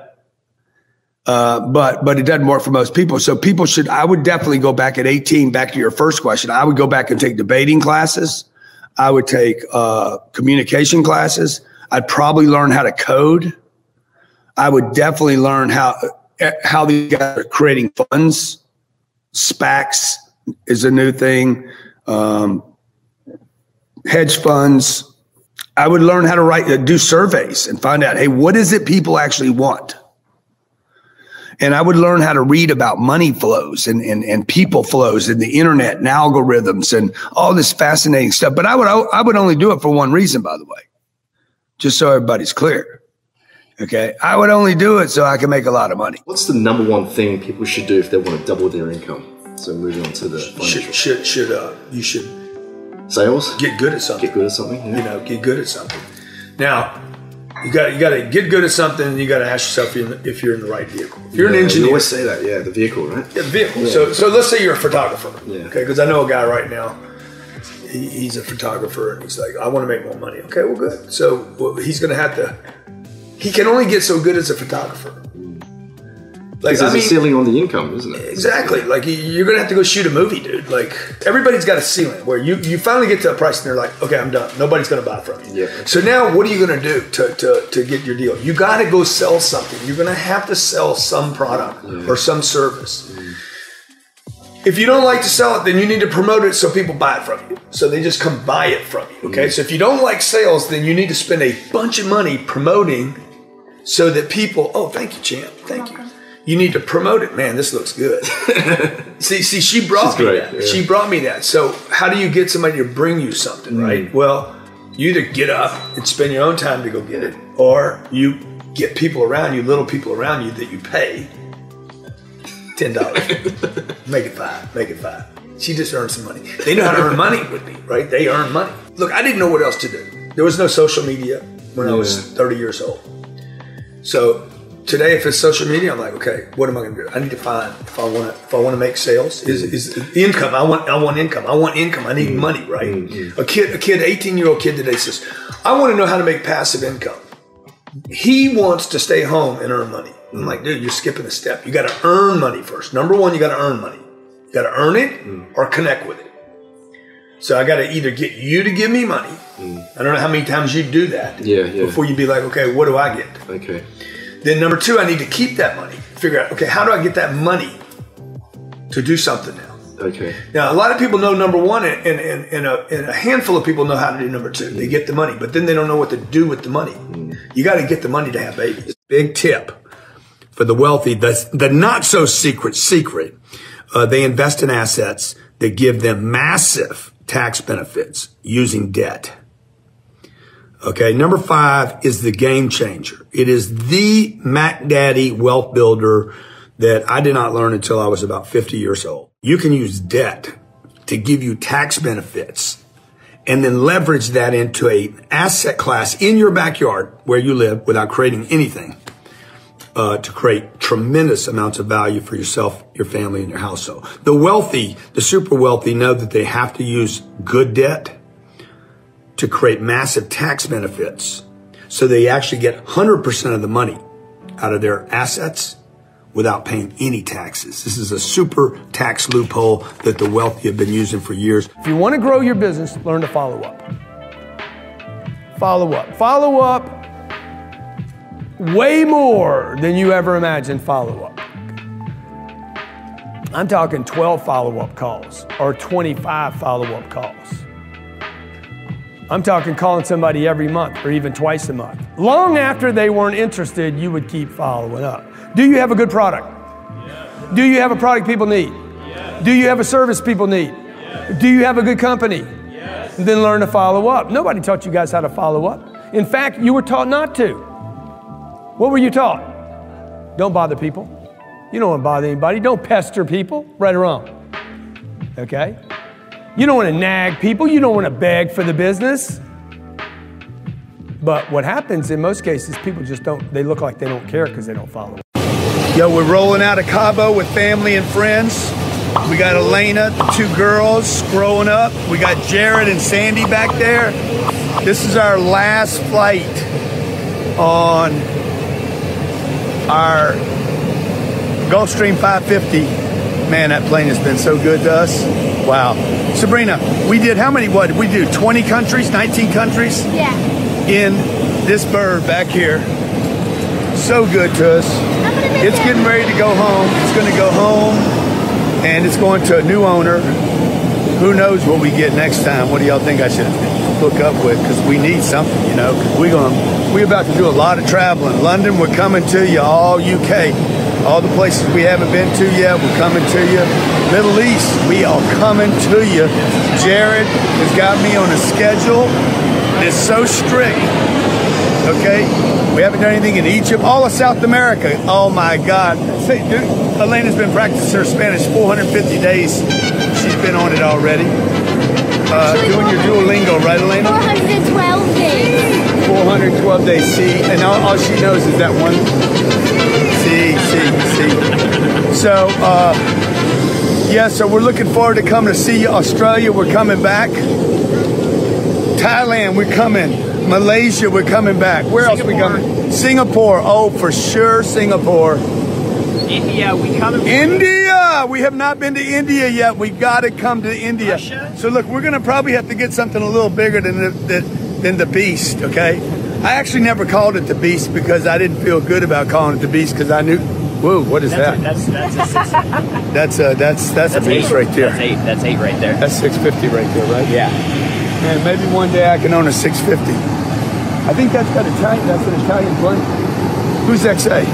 No, that must be Mexico. Yeah. So, uh, God, these things are beautiful. If you've ever wondered, because I know I did, if you've ever wondered how do people, what do they do to fly these planes? Look at this. I'm right underneath one of these beasts right now. This is, uh, I think this is a, this is a 450 right here. Gulfstream 450. Look at that. You know a family owns that plane? And they fly themselves probably from LA or San Francisco down to Mexico in Cabo. And then, you know, family owns that plane too. Now, the only asset class that will protect you during hyperinflation, there's a couple of them, but there's only one that cash flows. Gold, certainly, silver, yes. Um, other, other asset classes that appreciate in value will get accelerated. Real estate, however, for the last couple thousand years, without exaggeration, has been the, the number one, the number one by a long shot asset class that will protect you and your family against inflation. This is something you guys really need to worry about. Uh, the uh, politicians are talking about inflation being a problem for the upper class. Look, inflation infect, uh, infects uh, like a virus, uh, everyone, okay? Inflation, Warren Buffett said inflation was like the invisible tax. If you don't like taxes, you're going to hate inflation. We have not had inflation in this country in probably since the 80s. Since the 80s, like so that's uh you know ha- over half of my lifetime we have not had hyperinflation, particularly hyperinflation where you're starting to get escalated rates of food, water prices, uh, gasoline prices, fuel prices, diesel prices. Look at home prices. Just in Miami, I'm in Miami this morning uh, going to this event. Beautiful Miami. These prices, in the first 10 months of 2021, these prices went up 19%. That is hyperinflation. That means your mortgage payment will go up almost 20%. That means your down payment will go up uh, if it's a if it's a million dollar house or four hundred thousand dollar house. Let's say it's a four hundred thousand dollar house, and you had to put forty thousand dollars down uh, just January last year. That down payment now is fifty thousand dollars. So you got to get ready for this. Now, how do you protect yourself? One, you got to be aware of what inflation is. Number two, you got to know if I have money that's going down in value as assets go up, it takes more money now. This bag of money, this bag of money will not basically, this was $100,000 in this bag. And because of the inflation in the last 12 months, this is now, I just basically took this much out of it. You understand? That's how inflation works. The bag was full and now the bag is less full, okay, because of inflation. It's invisible, but it works in reverse, meaning I just simply need more of a bag. I probably need this bag and another 20% of this bag to buy the same products and services because of the printing of currency and because of inflation. It's not very complicated. And you don't need to figure it out. You just need to know number one, it's here. Number two, I'm going to do something about it. You need, need to do something about it. And the thing that you can do about it is not a new thing, by the way, folks. This is not, this is not a Bitcoin. This is not BitClout. This is not NFTs. NFTs, Ethereums. This is nothing. This is not the, the me- meta, metaverse. Metaverse. This is nothing to learn. Like, this is simply, I'm going to find an asset that cash flows a real property that cash flows where I protect my capital. Bigger is not better. I remember a guy named Phil told me this. He went bankrupt and then he says, I just want to remind you, man, bigger is not better. I had the bowling alley. I had the big house. I had the die. And I, I and he's like, bigger's not better, man. And I believed it. I bought it. And so I, I stayed small. Um, and later I realized that today I know bigger is definitely better. Okay. And, and you just got to keep getting bigger. The problem with bigger is you can't get out of the game and you keep getting bigger and bigger, right? You want to keep getting bigger and bigger and it keeps bringing on, you can't get out of the game because then you have obligations to other people. Now there's a lot of employees, but bigger is more fun and it comes with more problems, but it comes with more fun too. I will never give the bank money until I invest in my business. I'm never going to save money at Wells Fargo. Cash is trash, folks. How many were taught you were brought up cash is king? It's garbage. It's pieces of paper. If you saw the stock, if you saw the dollar as a stock in the last 55 years, it's going down like this. The graph is straight down, almost a 90% depreciation value. You would never invest in that stock. But what do you guys do? Work your ass off, trade time for money, take the money and save it so it gets depreciated. What does the bank do as soon as you give it to them? They call me up. Hey, Mr. Cardone, can we lend you some of these people's money? They're work, hardworking people. They were working their asses off on the weekends, trading time for money, and they came and gave us the money. It's, it's amazing these people do this over and over again. I'm like, please send it over. Once you and your business are doing well, by the way, you'll know. It's not even a question. If you're calling me up like, when should I start investing, Grant? If you're still asking that question, you don't have enough money. It will be so obvious to you. Your business is on banging, it's banging, 12 cylinders, just banging, man. Listings coming in, sales being made, people talking about you. Your freaking numbers are going like this. Everything's like straight up and vertical. Then you should invest in something where you cannot lose your money. What should you do with your money? Well, well, like saving money in a bank account is ridiculous. The only people that benefit Yeah. is the bank. So wait, what do you do with the money then? You you you you use money. First thing people should invest in is themselves. Like you, you know, Best thing is people hear that and they go, "What does that mean, though? What do I do with the money?" go to go to workshops, go to seminars, go to whatever you're good at, whatever you're doing. You're Yeah. an astronaut, invest in yourself. If you're an athlete, invest in yourself. Don't spend money on belts Yeah, and looking good. Like invest in your craft. You're a comedian, invest in your craft, and that means investing in your skills, uh, um, uh, uh, coach, uh, uh, what, whatever, whatever, podcasts, Yeah. whatever needs to get you known, right? And Right. then and then also in in your branding and your marketing. Like people have to know you, no matter how good you are. If I don't know you, it doesn't matter. right. So you got to get out there. Yeah. How did you, how did you guys run into me? How'd I run into you? Yeah. How'd you find out about me? Instagram. Good. I invested a lot of money making sure that people see that Instagram account, right? Right. So, eh, or energy, money and energy. Right. So, um, invest in yourself first to become great at whatever you're doing. Number two, start investing in your business. If that, if you hadn't done that already, and the third thing is start investing in things that'll pay you every month. So you buy you buy a flow of income. This idea that it takes money to make money is not true. It's a myth. It's it's it's the number one reason why I did the show, the, the Discovery Show, mm. to debunk that on TV, that I didn't need any money at all. Uh, they they offered me a hundred bucks. I'm like, just keep it, dude. Like, no, no, we got to give it to you. It's part of the show. And I'm like, I don't need the hundred. They're like, no, but you got to take the hundred. It's part of the show. The entire 90 days, I never touched the first hundred they gave me. And this was to prove to people, dude, you do not need money. Like it's just, it's not true. You need money. You do need contacts. You need people. You need relationships. You need people. You need people. You need the right people though. The right people that are already in play. Okay, just because a guy's got money. I remember a, a, a billionaire friend of mine. Uh, you know, he could buy a jet, and I said, "Hey, Bob, should I buy a jet?" He said, "You should. I shouldn't." Meaning, Grant should because, and he's way wealthier than I am. He could have bought forty of them. He's like, "I don't have a place to go in mine. You have a. You could use yours every day." So you, you got to find somebody that's in place, somebody that not just has money, but somebody that wants to do more with their money. So you'll notice in the first uh, 10 days, I don't spend a hun- any money. I don't spend money on shelter, not on food, and not on water.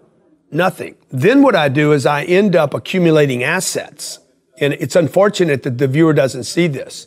Within five days, I have two vehicles. One was given to me by Discovery, and the other one was a $40,000 Jeep that I basically used uh, from Ryan, this guy I met, and told him, I'm going to sell your Jeep. I'm going to drive it around town and put 10 miles a day on it, and I'm going to sell it. Well, that's a $43,000 asset. Uh, my truck was worth four grand. I still had my $100. I lived in a $46,000 RV that I was trying to sell. So, Yeah. Uh, and the, what, what's the other thing I did? And I picked up $10,000 to do in a 15% partnership in the equity of the upside of this guy's company. So literally in 10 days, I was accumulating contacts that could get me equity. And the, and the important part of that story is, man, go get you some equity. You know, Jay-Z talks about this. You're getting, you, you know, so many of you young brothers are getting in advance while I'm picking up the equity. Showing up means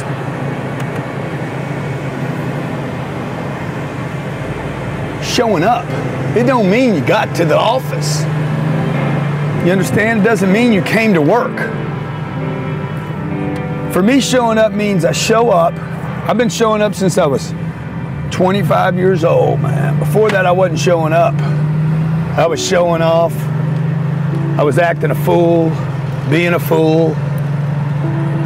High school, I didn't show up. I went to class, I never showed up. My body went in the room. See, showing up doesn't mean you got there. Showing up means you got there and then you showed up again and then you showed up again and then you showed up again. Means you show up for the class, you show up for the homework, you show up for the class, you show up for the homework, you show up for the test, you freaking get a perfect grade. It means you keep showing up to the next level. And I hear a lot of people talking about showing up. You know, showing up's not everything. Let me tell you something. Showing up, when you show up the right way, Johnny, you got to put your seatbelt on. When you show up the right way, when you show up the right way, showing up is 100% a success. Keep showing up. Showing up means you're looking for deeper levels to show up, to pay attention. That's what I do every day. Every day I come to work, I'm like, show up, man. Show up for every little problem. Show up for every little opportunity. Show up for every little little nu- nuance, little angle, little particle, little movement. That's why I see all this stuff. Why is that not cleaned up? Why is this not cleaned up? What, what's it? Why did somebody pick that up? Who's that new person here? Hey, you feeling all right today? How many times have I asked you that before? You all right today? I know it's little things. It's simple. It costs nothing to do this. Show up. It costs you nothing. And it makes all the difference, man, showing up. You'll see things that no one else sees. And, and you know, the good news is anybody can do this. You just got to make a commitment to show up. The number one thing is you got to make a decision before you even take a step. What is it you want with wealth? Is it to just get by, simply pay the bills? You want to become a millionaire, a decamillionaire, a hectamillionaire, a billionaire? Which one you want to do? I've done every one of those. And I started with one thing, the dream. What was the dream for me? In the middle, in the very beginning, it was simply, man, I just want to pay my bills. And that was a mistake because I was thinking too small. So, however high you set your goals and your targets is going to determine where you get. So, most importantly, just set a number. Is it a million, 10 million, 100 million, a billion dollars? I'm greedy and I am I am I am very highly interested in my personal self-improvement because I know that's where it all starts. I have to, I have to make me the most important thing in my life because other people can't get better if I don't. I would love to improve my communication skills. Clubhouse is like the amount of eloquence, the amount of people there that are able to see other people's viewpoints has been fascinating to me. So number one, I'd like to become a better communicator. Uh, number two, and I think I already am just from being on Clubhouse. Like, Cl- Clubhouse has been an incredible gift to me. Yeah, it's been fun. It's been fun to be in those rooms with you. Yeah, and, and so I've learned a lot about how to talk, how to listen uh, that I didn't know because of the two-way communication. You don't get that from from Facebook and Instagram. Yeah, I don't get it from dropping a video on YouTube. Uh, number two is the collaboration. I want to collaborate with more people. Uh, number three, th- third thing I want to do, uh, you know, I mean, I need to work on my relationships, my, my personal relationships. Uh, could be a better husband, definitely a better husband. I've been go- I've been running really fast. I wouldn't push him. I mean, I don't push my kids. I'm pushing me. So if my kids can learn from me pushing me, because I don't want anybody pushing me. You're, you're never going to push me as hard as I'll push me. You know, I had a manager when I was 29, 28 years old. He set a quota for me, and I started laughing at him. And he's like, What are you laughing about? I'm like, Dude, how can you set my quota? How can you set a quota for me, dude? You you don't even know your potential, much less mine. Because I'm the one that knew what I could be doing. I'm sitting there quietly as a salesperson thinking, I could come in two hours early. I got nothing to do. I was single.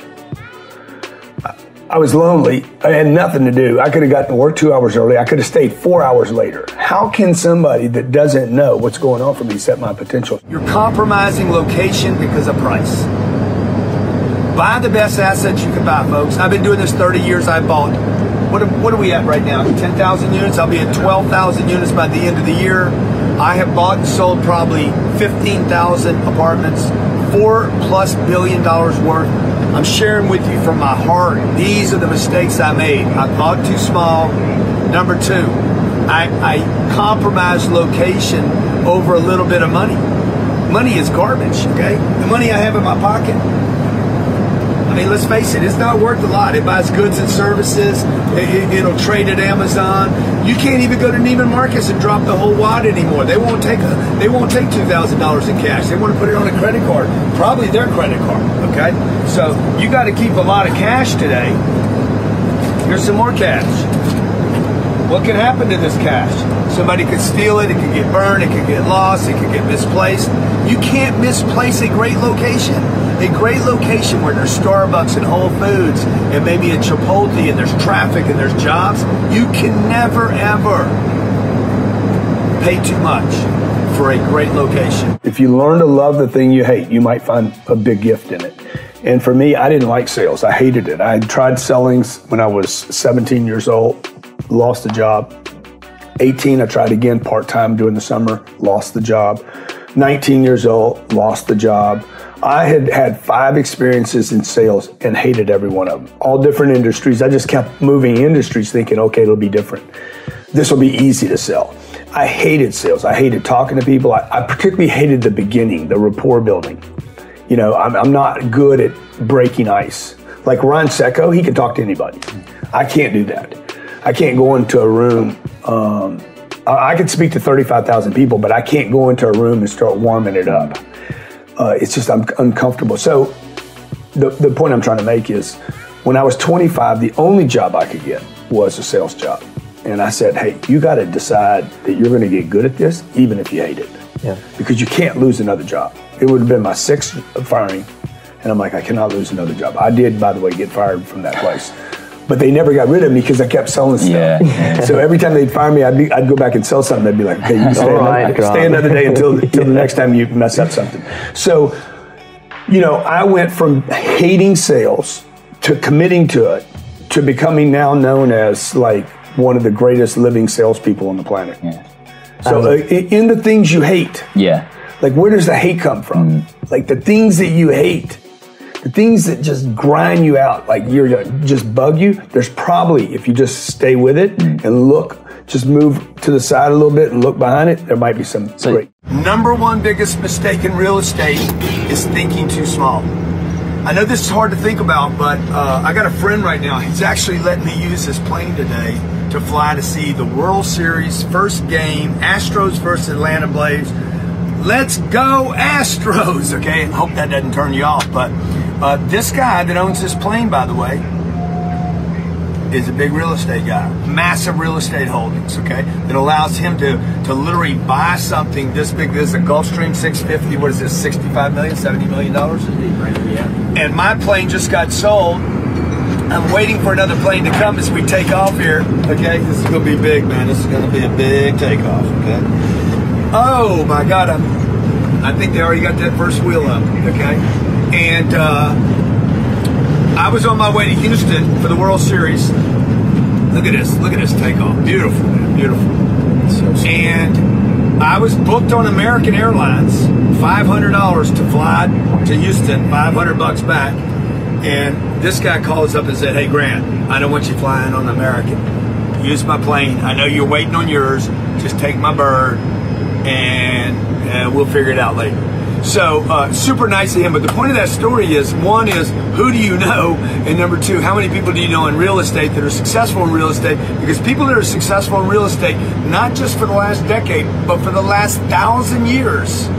Uh, have been some of the wealthiest people on planet Earth. It's a secure, great investment. So, number one biggest mistake you're looking at one unit, you ought to be looking at 30 units. It is easier to buy 30 units. It's easier to make money on 30 units. It's easier to sell 30 units. It's easier to get a loan on 30 units than it is on one. And I know some of you are going to disagree with me. I got all the haters I need out there. Please don't pile on. But they don't understand that when you buy one unit, you're not getting in the real estate game to buy one unit. If one unit's good, 30's better, 30 times better. If one unit's good and you can raise the rent $200, awesome, man, that's awesome. But what if you could raise the rent 30 times, uh, uh, uh, $200 on 30 units? Just do the math. If you raise the rent 200, because real estate's about making money. It's about protecting your capital. It's about cash flow. It's about tax write-offs. But if you can buy one unit, ultimately it's about making money. And you raise the rent $200, you're making $200 extra a month. If you could do that 30 times, you're making 6,000 a month, $72,000 a year, and that's when the game gets really, really super fun. Successful people are not seeking money, they're seeking freedom. I'm talking about the top of the food chain. You guys should be studying the top of the food chain. You should not be studying your buddies. Study the top of the food chain. They are available for study. Read everything they've done. If I read Warren Buffett, I take Warren from the beginning to the end and I read everything he's done. I go I go deep on one guy. I don't study a bunch of people. In the beginning I'm like, is the dude about money? No, the guy was about freedom. What is freedom? Freedom, man. I get to do what I want when I want as long as I want how I want. I get to say what I want to whoever I want, and I get to cut a customer out of my face if I want to. How many of you like to get rid of some of your customers? Like, get out of my office. Leave my office. I don't want to do business with you. Okay? I want, I want to do business on my terms, not your terms, and not the marketplace's terms. And I don't want a competitor pushing on me. I want to have enough flow coming in that I get to say, I don't want this business anymore. I want this business. Everybody with me? Okay, that's freedom. Financial freedom is not about money. The wealthy get wealthy not saving money, they invest their money. You're never going to create wealth ever. It is impossible to create wealth because you have a profession or because you're great at your job or career. Um, the only way to create true wealth, true wealth, is through investing. It is not through learning. It is not through watching videos. It is not by going to conferences. The number one, best, most successful way, probably the only way to ever create real wealth, beyond millions of dollars, by the way, is uh, quit saving. Quit saving your money. This is what my parents did. They saved money. They didn't invest their money correctly. They didn't take money, leverage it into real investments because they were terrified of losing their money. I understand that. But there are asset classes out there where you can never lose your money. Many of you are buying assets without cash flow. Flippers, wholesalers, developers. Everything I've ever bought was developed by someone else. I've never flipped and I've never wholesaled. Why? Because I want to own that property, that great location. And what can make sure I own it, keep it, even through down cycles? Cash flow. You got to get the cash flow, okay? I don't care if it's 2%, 3%, or 4%, 5%, 6%. I'd rather have a 3% cash flow on a great location than a 6% cash flow on an average location. What is the, the mindset you would share with anyone who's 40, 50, or 60 and be, uh, above who hasn't accomplished what they want yet? what would you say to them based on what you've learned after 50? You know, I used to tell myself I would never have anything to contribute to the world until I was 50. Because I'm very immature. I've always been described as a rough diamond, like, like rough around the edges, abrasive, not much of a filter, you know. I, I, I am. I mean, I know everything that people say negative about me, for every one thing every, the public has, I, I, know, I know every one of them. There's nothing anybody ever says about me that surprises me. I'm like, yeah, I know that. Like, you guys don't think I know that? I, I live with me every day.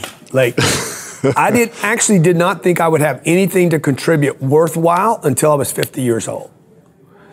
And uh, that was about the time the economic uh, collapse was, the Great Recession. And I was so lost in that financially. I didn't understand. I was actually being formed right there. I was being matured. I was being prepared for what, whatever's going on in my life right now. Uh, really, the, the, the, creation of Grant Cardone has happened in the last 10 or 12 years, not, not before that. The Grant Cardone people know today is being, being developed right now. And I would just tell people that are older, like, dude, you're going to have more energy later unless you don't. You're going to have more genius later unless you refuse to. You're going to have the ability to influence more unless you refuse to influence. And age has got nothing to do with the game. Like, nobody really knows my age. Like, uh, I was 50 years old when I was in Pueblo. I told everybody I'm 50 years old. My name's Lewis Curtis. I have two kids, beautiful two kids. I got a wife named Ava. Uh, had made up names for the kids. I had to make up all that story. And we live in LA and I hate it. Uh, because if I told people I was me in Miami, uh, if anybody went and searched it and started doing, you know, images, like yeah. people do all that stuff today. I know. So um, I would just tell people, man, you look. I look at people that are 80 years old. I'm like, dude, I got 20 years left. You know how much damage I could do in 20 years? I know guys that are in great shape. Uh, Dolly Parton, I mean, she's still hammering. She never did nine to five. She made some money on a song called Nine to Five. you know, but she's been doing five to nine for for years. So I just think people can get better if they want to, or they can get worse. You're either going to decay, or you're going to reboot yourself over and over again. Mm. I have I have a couple businesses this year will do 150 million dollars. My real estate, we have 2.5 billion dollars worth of real estate that we own that produces cash flow. Almost 10,000 units that that 2,200 bucks a month. Do the math on that. Things are very good at our place. And I'm like, why don't you become a real estate agent? okay, average real estate agent makes what, 25,000 bucks a year or something? 25,000 a year. Okay? Right? Something like that? It's sad. It's sad. And I want to talk to you about the finances right now. Okay? Somebody said about not chasing squirrels. I think she was talking about chasing other opportunities. Is that right? Okay. But also, you guys need to think about not chasing squirrels that don't get your opportunity here. Because they're squirrels, they're gathering nuts. Like, oh, I can't, I can't, I don't want to put signs up. I'm like, dude, move on. You need people, I need people in my life that are heavily financially motivated. I hear everybody talking about their wives and their kids, and, and oh my God, life is to be lived. You cannot live on this planet without money, folks. Okay? Nowhere can you go and buy something the yacht, the experience, the weekend. I would look for people today that are financially motivated, that want to make more money, and that understand that financial illiteracy is what's hanging people up from their dreams. You got people, hey, what do you want to do? Well, I want my time off. What are you going to do with time off?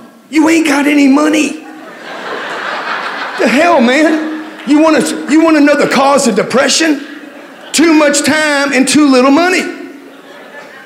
Give me a job, give me a mission, give me something to do, give me possibility, give me a payoff. What do you look for when you're making a real estate investment? If it's anywhere in the world or in yeah, the US, yeah, like yeah. what are the key things that I look for cash for? flow first. Cash flow. Number one, I look for cash flow because cash flow will allow me to keep a piece of property for through the cycles. So number one, I want to be paid for something. I do not speculate on real estate. I've never lost a penny investing in real estate. I've been doing this for 35 years. Uh, number one, I want cash flow. Number two, I want a great location that's irreplaceable. I care less about the kitchens and the living rooms and the exterior, the paint, the roof. I care nothing about those. All those things can be changed. The location can never be changed. And the third thing I want to know when I buy a piece of real estate is who can I sell this to? Exactly. Okay, so I should know who I'm exiting with. I should literally know who the next buyer will be before I purchase the property. 2008, 2009 was tough for you, just like it was for a lot of people. What was the lesson you learned then that prepared you for 2020? That you, when the recession hit, you said, okay, I know exactly what to do based on that pain in 2008. Yeah, well, I was so disappointed with myself then. Like, I had not put my family in a position to to flourish and prosper because of suppression.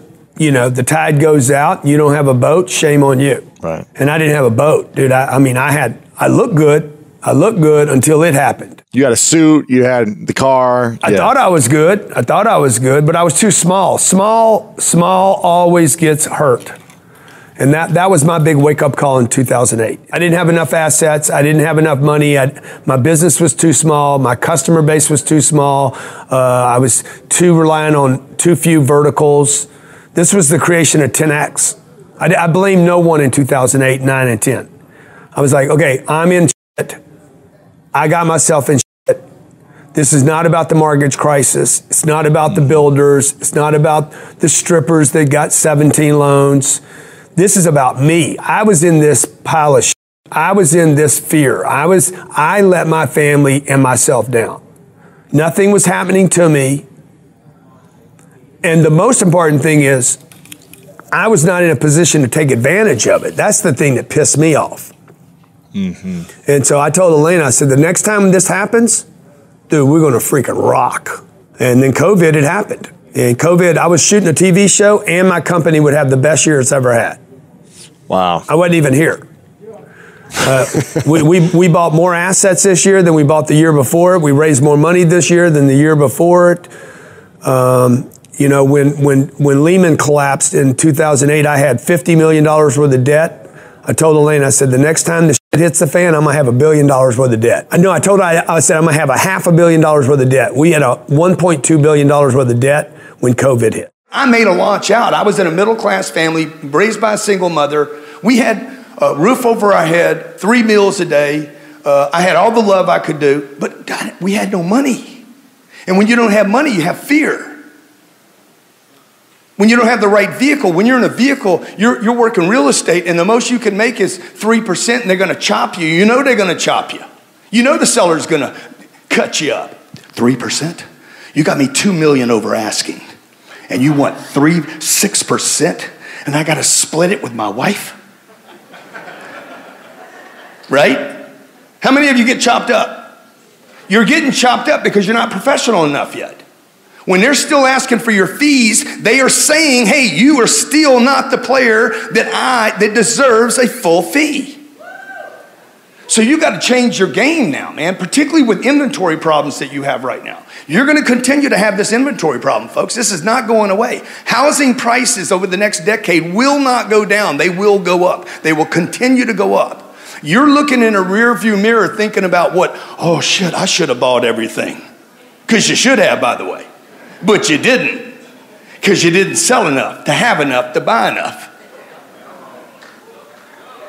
Right? And you were sitting in the market.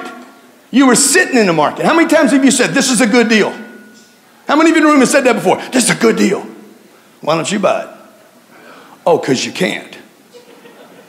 Because you didn't. You say you didn't do enough to put yourself and your family in a situation where you could. And that's what happened to me in 2010. I had not done enough. I had three successful businesses.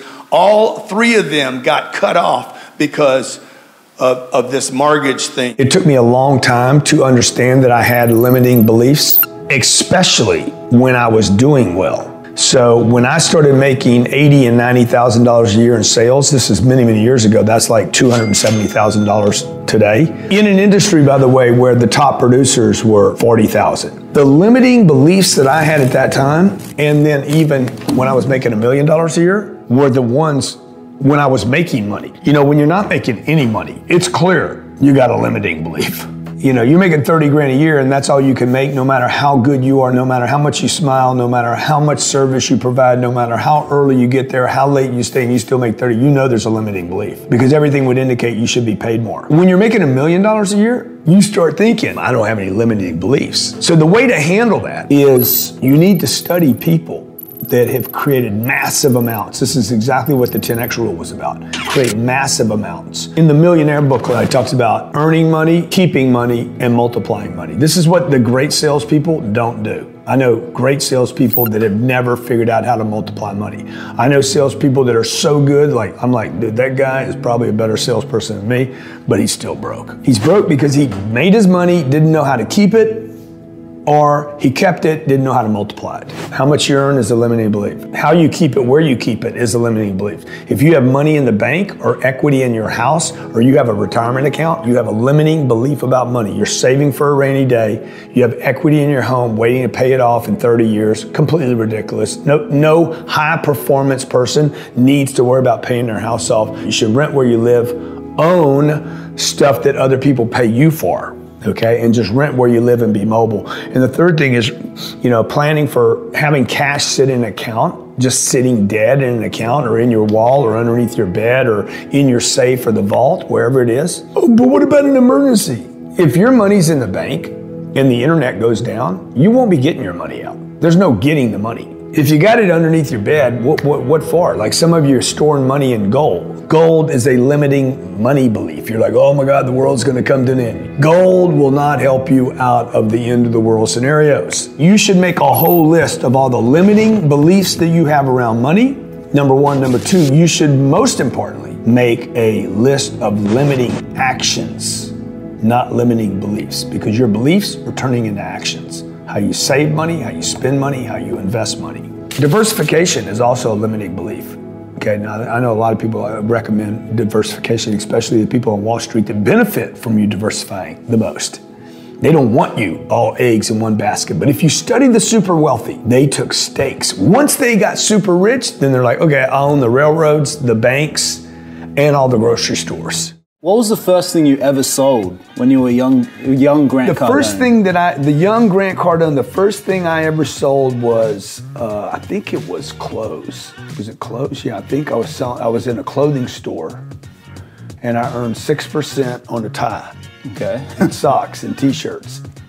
Um, and at that time, I think a tie cost like I don't know, maybe twenty bucks. So I'd make like twelve cents or something. Wow. I was bumped up about it too. I was actually excited. I had minimum wage. Minimum wage back then was like a dollar eighty-five, Hmm. and I'd get a little, you know, seventy cent commission. Great. Yeah. What was your it first? wasn't that great. What was your first uh, real estate investment? My first real estate investment was a single family home. It was seventy-eight thousand dollars. I put three thousand dollars down. I thought it was a genius move. I used three thousand to buy seventy-eight thousand dollars. I, I I thought, okay, this is the best thing. I, I don't even see how this can be legal.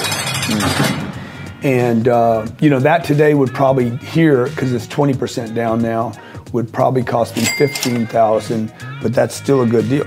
Fifteen thousand dollars, I could leverage a eighty thousand dollar piece of real estate. Obviously, you can't buy anything here for eighty thousand. Um, more like a million dollars. Maybe out in the country. Yeah, yeah. But not in the city. You're looking Well, at look, if you know millions around. Yeah, but but but if you could figure out just if you could just make the transition, the biggest mistake I made in real estate was I didn't buy enough real estate. I should have bought more real estate. I should have bought it more aggressively. I should have paid more. I should have bought in better locations because I was thinking too small. I was thinking about the three thousand dollars I had rather than how could I go raise the money. Yeah. So look, there's no shortage of money. There's a there's a shortage of, create, a shortage of creativity and commitment, but there's no shortage of money. So, you know, you got million dollar properties here.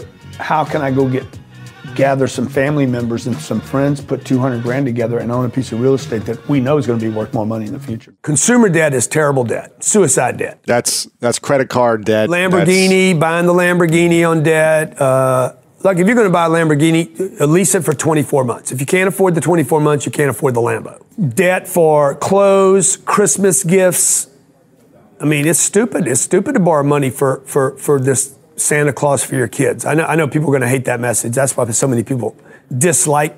You know, they, they just don't like the Well, it's truth. stupid. it's stupid to go in debt. If you want to do it and uh, and for for fun or for whatever, then that's okay. But you may you're not investing in a potential greater future. No.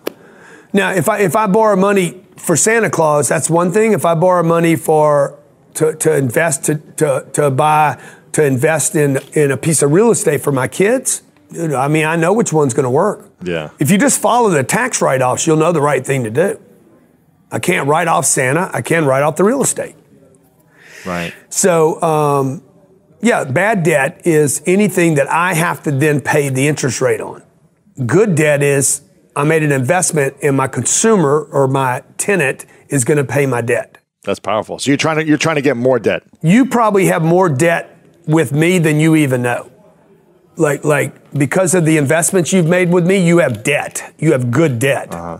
You just don't really know it. Your accountant does though, because because we're sending them the K one at the end of the year. That's why when we send you a check, you don't pay income on that check. That's nice. Very nice. So you you look at your return, but you know whatever I paid you last year, but that is non-taxable income to you Because of the debt that we have. because of the uh, with debt. everything else. Yeah, exactly. On the asset. Exactly. Three parts to the real estate game. Number one is the deal. I found me a good one right here. I'm in the Heights, one of the most desirable neighborhoods in all of the 713. Number one's the deal. Number two's the debt.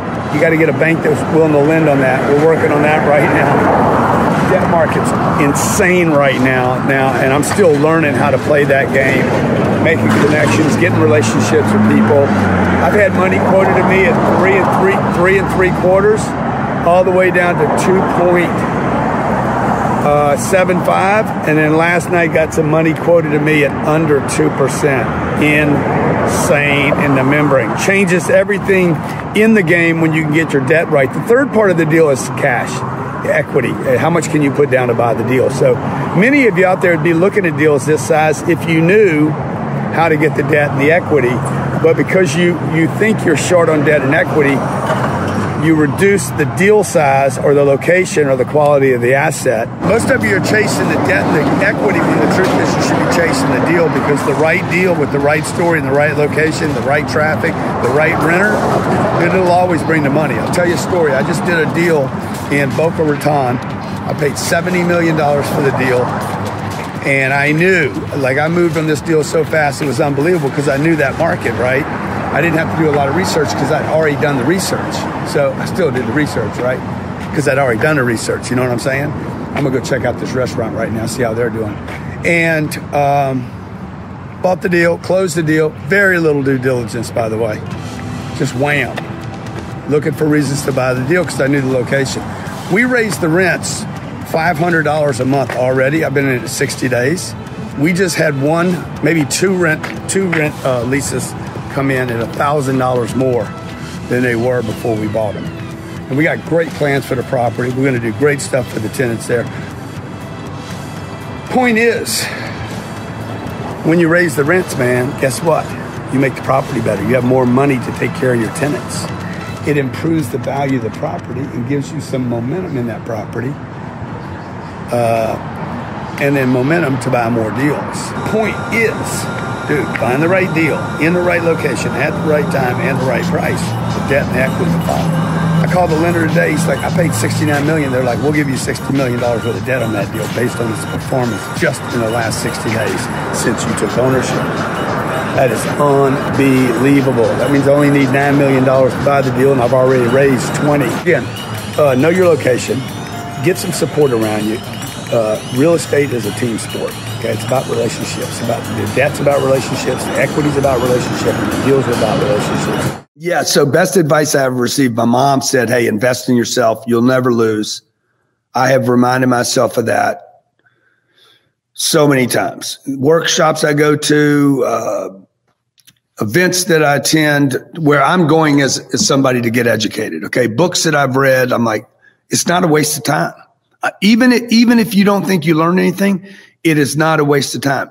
You think you think you haven't that it was a waste of time or you didn't learn anything because you hadn't used it yet. You may use that piece of data one day. And so, number one, anything you invest in time or or or money in trying to improve yourself, you're not going to lose that. The beauty salon, the restaurant, the bar, the bar owner, um, the consultant. We've all had the experience of resenting our customers, starting not to like them. And it's because we become dependent upon them. We have too few. If we're resenting our customer, what is that saying about us? That we're not building our brand, that we're not growing, that we're not selling enough? Yeah, you, you didn't go, you didn't, you didn't build the top of your funnel out enough because this, this part of it's easy. Hmm. Even though you hate them, they never pay you. Money. This is the kind of stuff that goes on. They don't pay me enough. They always complain. They never use the product. No matter what I do for them, they and complain. Okay, they're never happy. Blah blah blah. Right? Well, the truth is, those are indications that you didn't build your your customer base wide enough because you now resent them. Your resentment is an indication that you rely on them too much. And every time they complain to you, it reminds you, shit, I'm too reliant on too little. And, and we've all done it. We all do it. I've done it. Uh, right now, I'm doing it in my real estate. I told my guy Ryan the other day, I said, we're depending on this one guy too much. And he's like, why, why do you say that? Because I'm starting to resent him. So, what's the first thing we should th- do? What are the what's the action steps after that when we resent our customers? You, you got to you got, you got to understand it's not about them. It's about you. It has nothing to do with them. You need to go wide. You need to go get more customers.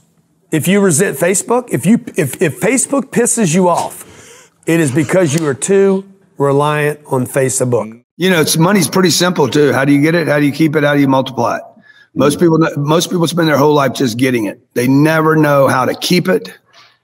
Um, I mean, we don't even understand basic stuff. That currency is basically uh, comes from the word current, where something is moving. You don't actually get to have own money. You don't own the money. The money is going to go some other place.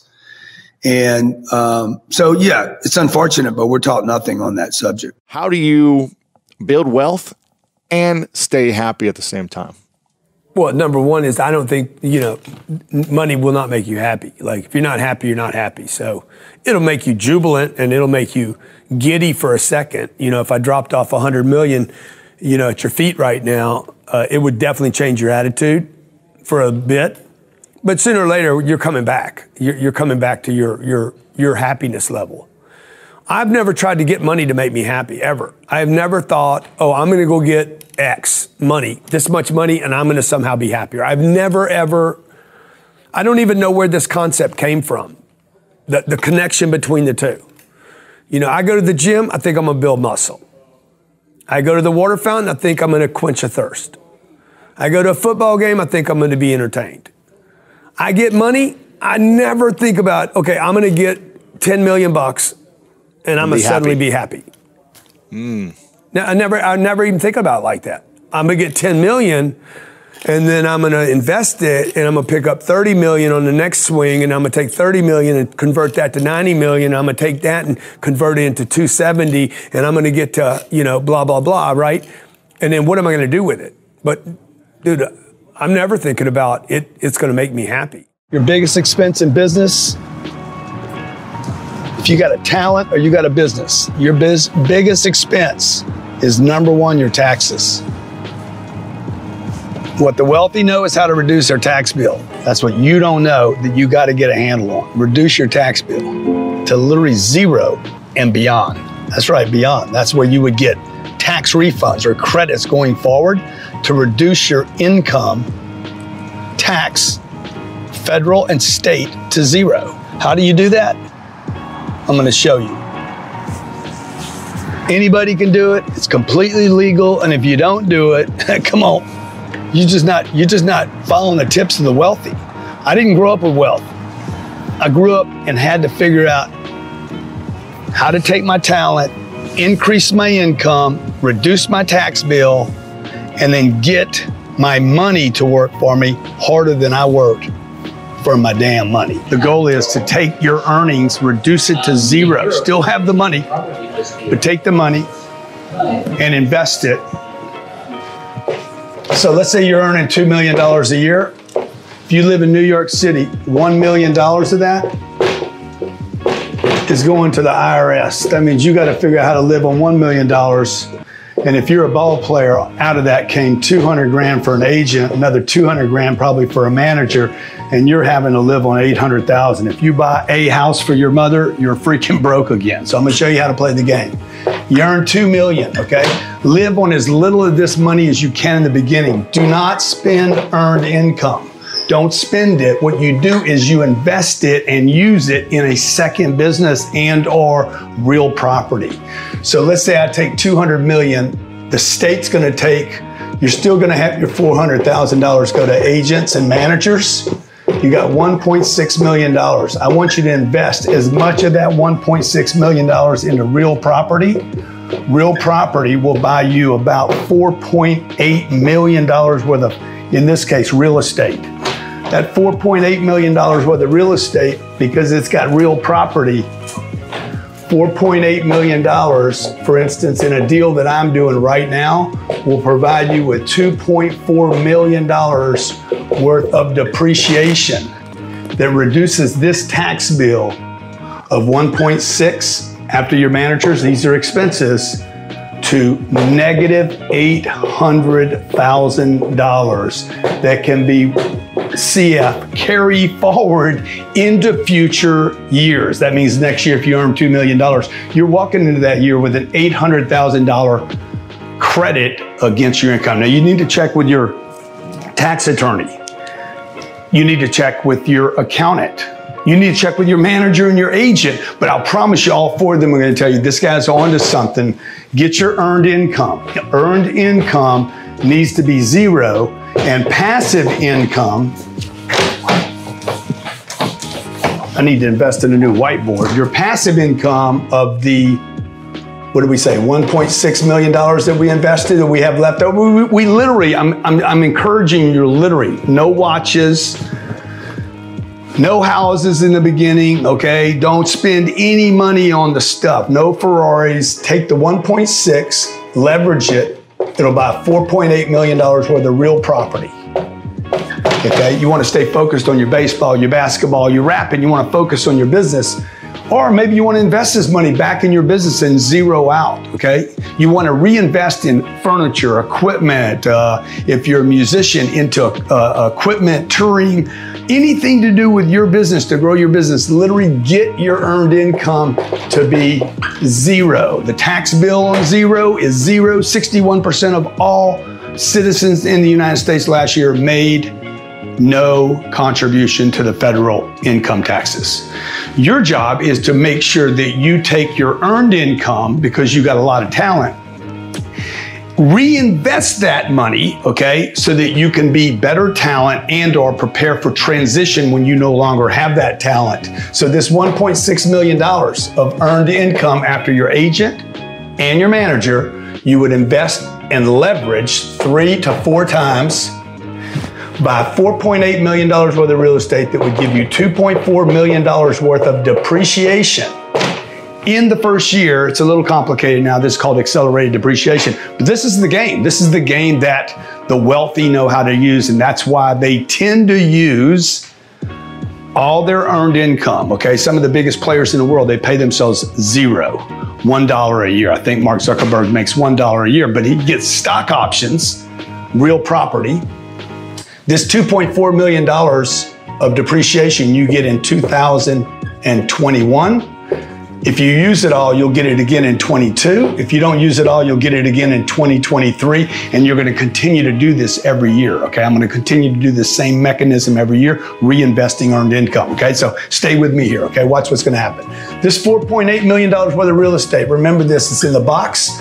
You own that. That's your position. Okay. This $1.6 million that you invested should provide you with about $90,000 a year in income passive income. Okay, that's in year one. If you do this again in year two, it's going to get you another $90,000 a year in passive income. That's 180 grand by year two. But in year two, you now have $9.6 million worth of real estate, real property that should be appreciating in value providing you and your family with passive income. Now, now we're at about $15,000 a month in passive income, and you're starting to prepare third year, fourth year, fifth year. Now you're at $75,000 a month in passive income. You're going to exit your career because, look, you got five years, maybe at max ball players, artists. You don't have forever. You're not going to be a 35 year baseball player or basketball player. So if you start multiplying these years, in year two, I'm at 180,000. In year four, I'm at 360. At year eight, I'm at 700 grand in passive income per year. And that is not counting the value of the real property, which in this case, if I can take this out eight years, if you could duplicate this every year, and not get a pay raise every year, eight years, eight times, if we did this every year, $4.8 million, you've paid no taxes for eight years in a perfect situation. And that would be $38,400,000 worth of real estate that is going up in value every year. If this just goes up 3% a year, I could take this out and I'd say in the next 10 to 15 years, you'll have $100 million worth of real estate. Throwing out passive income, most of the passive income is now not taxed at the highest rates. It's, it, it's somewhere as low as 19% a year, where you're paying 48 to 63, depending on whether you live in LA or New York or one of these crazy states. Happiness for me comes from doing Personally, stuff. yeah. yeah, yeah. It comes from accomplishing things.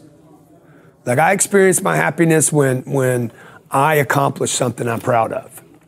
So when we do a conference and I walk away and I'm thrilled at the event we put on, the quality, the lights, you know, that feels good. You know, when, when my, the people around me are happy, when I look around, when I'm proud of who I'm being and doing every day, you know, that makes me happy. Seeing my kids, my kids are, I'm so proud of my kids. They're such a, you know, a validation that I'm a good guy. When I can't see the good guy in me, I can look at Sabrina and Scarlett and say, hey, dude, you got to be a good guy to produce those. When I really started learning from the, the, the in the beginning, what, what you learn is you're learning from the master you know and and so i'm i'm duplicating and emulating. Then at some point you cross over and you become the master.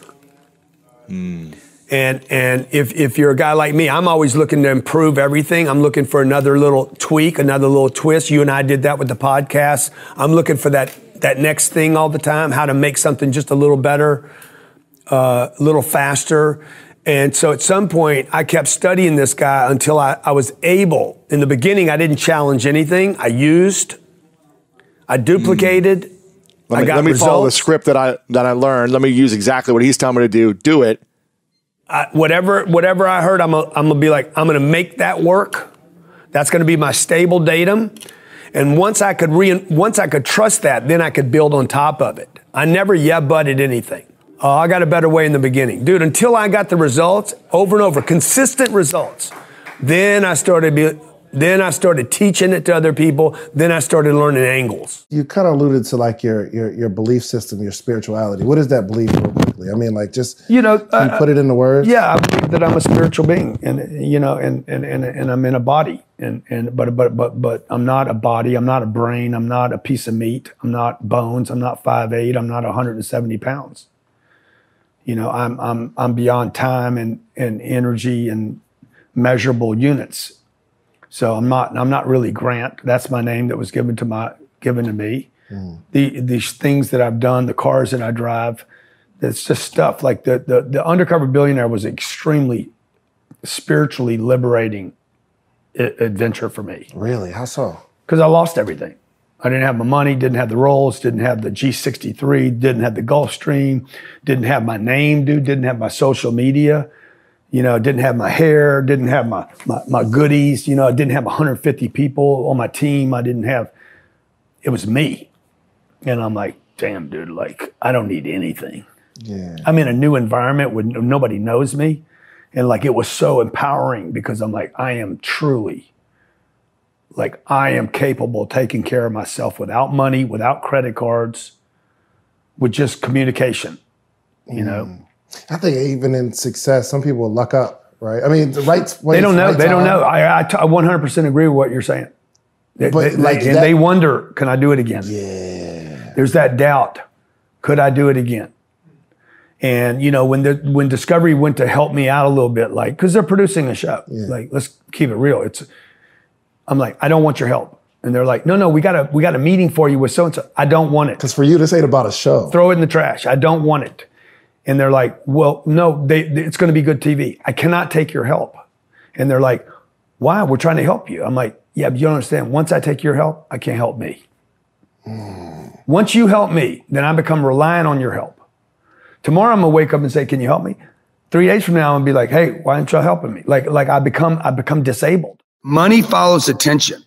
When I get enough attention, money will follow it. If I can get enough people to listen to me, somebody will say, Hey, I want to sponsor an ad because there's so many people. I just did a deal this weekend. It took like that long because of my audience.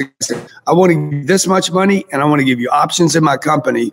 And I'm just going to cross my fingers and hope good stuff happens. But he sees me interacting with all these people and converting people, right? So money follows attention. If I can get really bright over here, money will go to that. If it's a good cause, if it's a bad cause, it's not going to work. Okay. But what happens is the, the, the, the attention wanes. It goes away. If you can spike the money game, the money, the attention will follow again. Uh, people pay a lot of money to be in the Super Bowl or big soccer game, right? Because there's a lot of people there. So if you could learn how about algorithms, getting eyeballs, keeping eyeballs, surveys, learning how to keep people's attention, man, you're gonna you're gonna be uh, unbelievable. And it won't matter how old you are, by the way. Michelangelo. Mm-hmm. Okay, Michelangelo. He didn't want to pope. Uh, he didn't want to paint the Sixtine Chapel, right? Dude, the the the po- the the, uh, the, the Pope said, "Yeah, I understand you don't want to, bro. Start painting."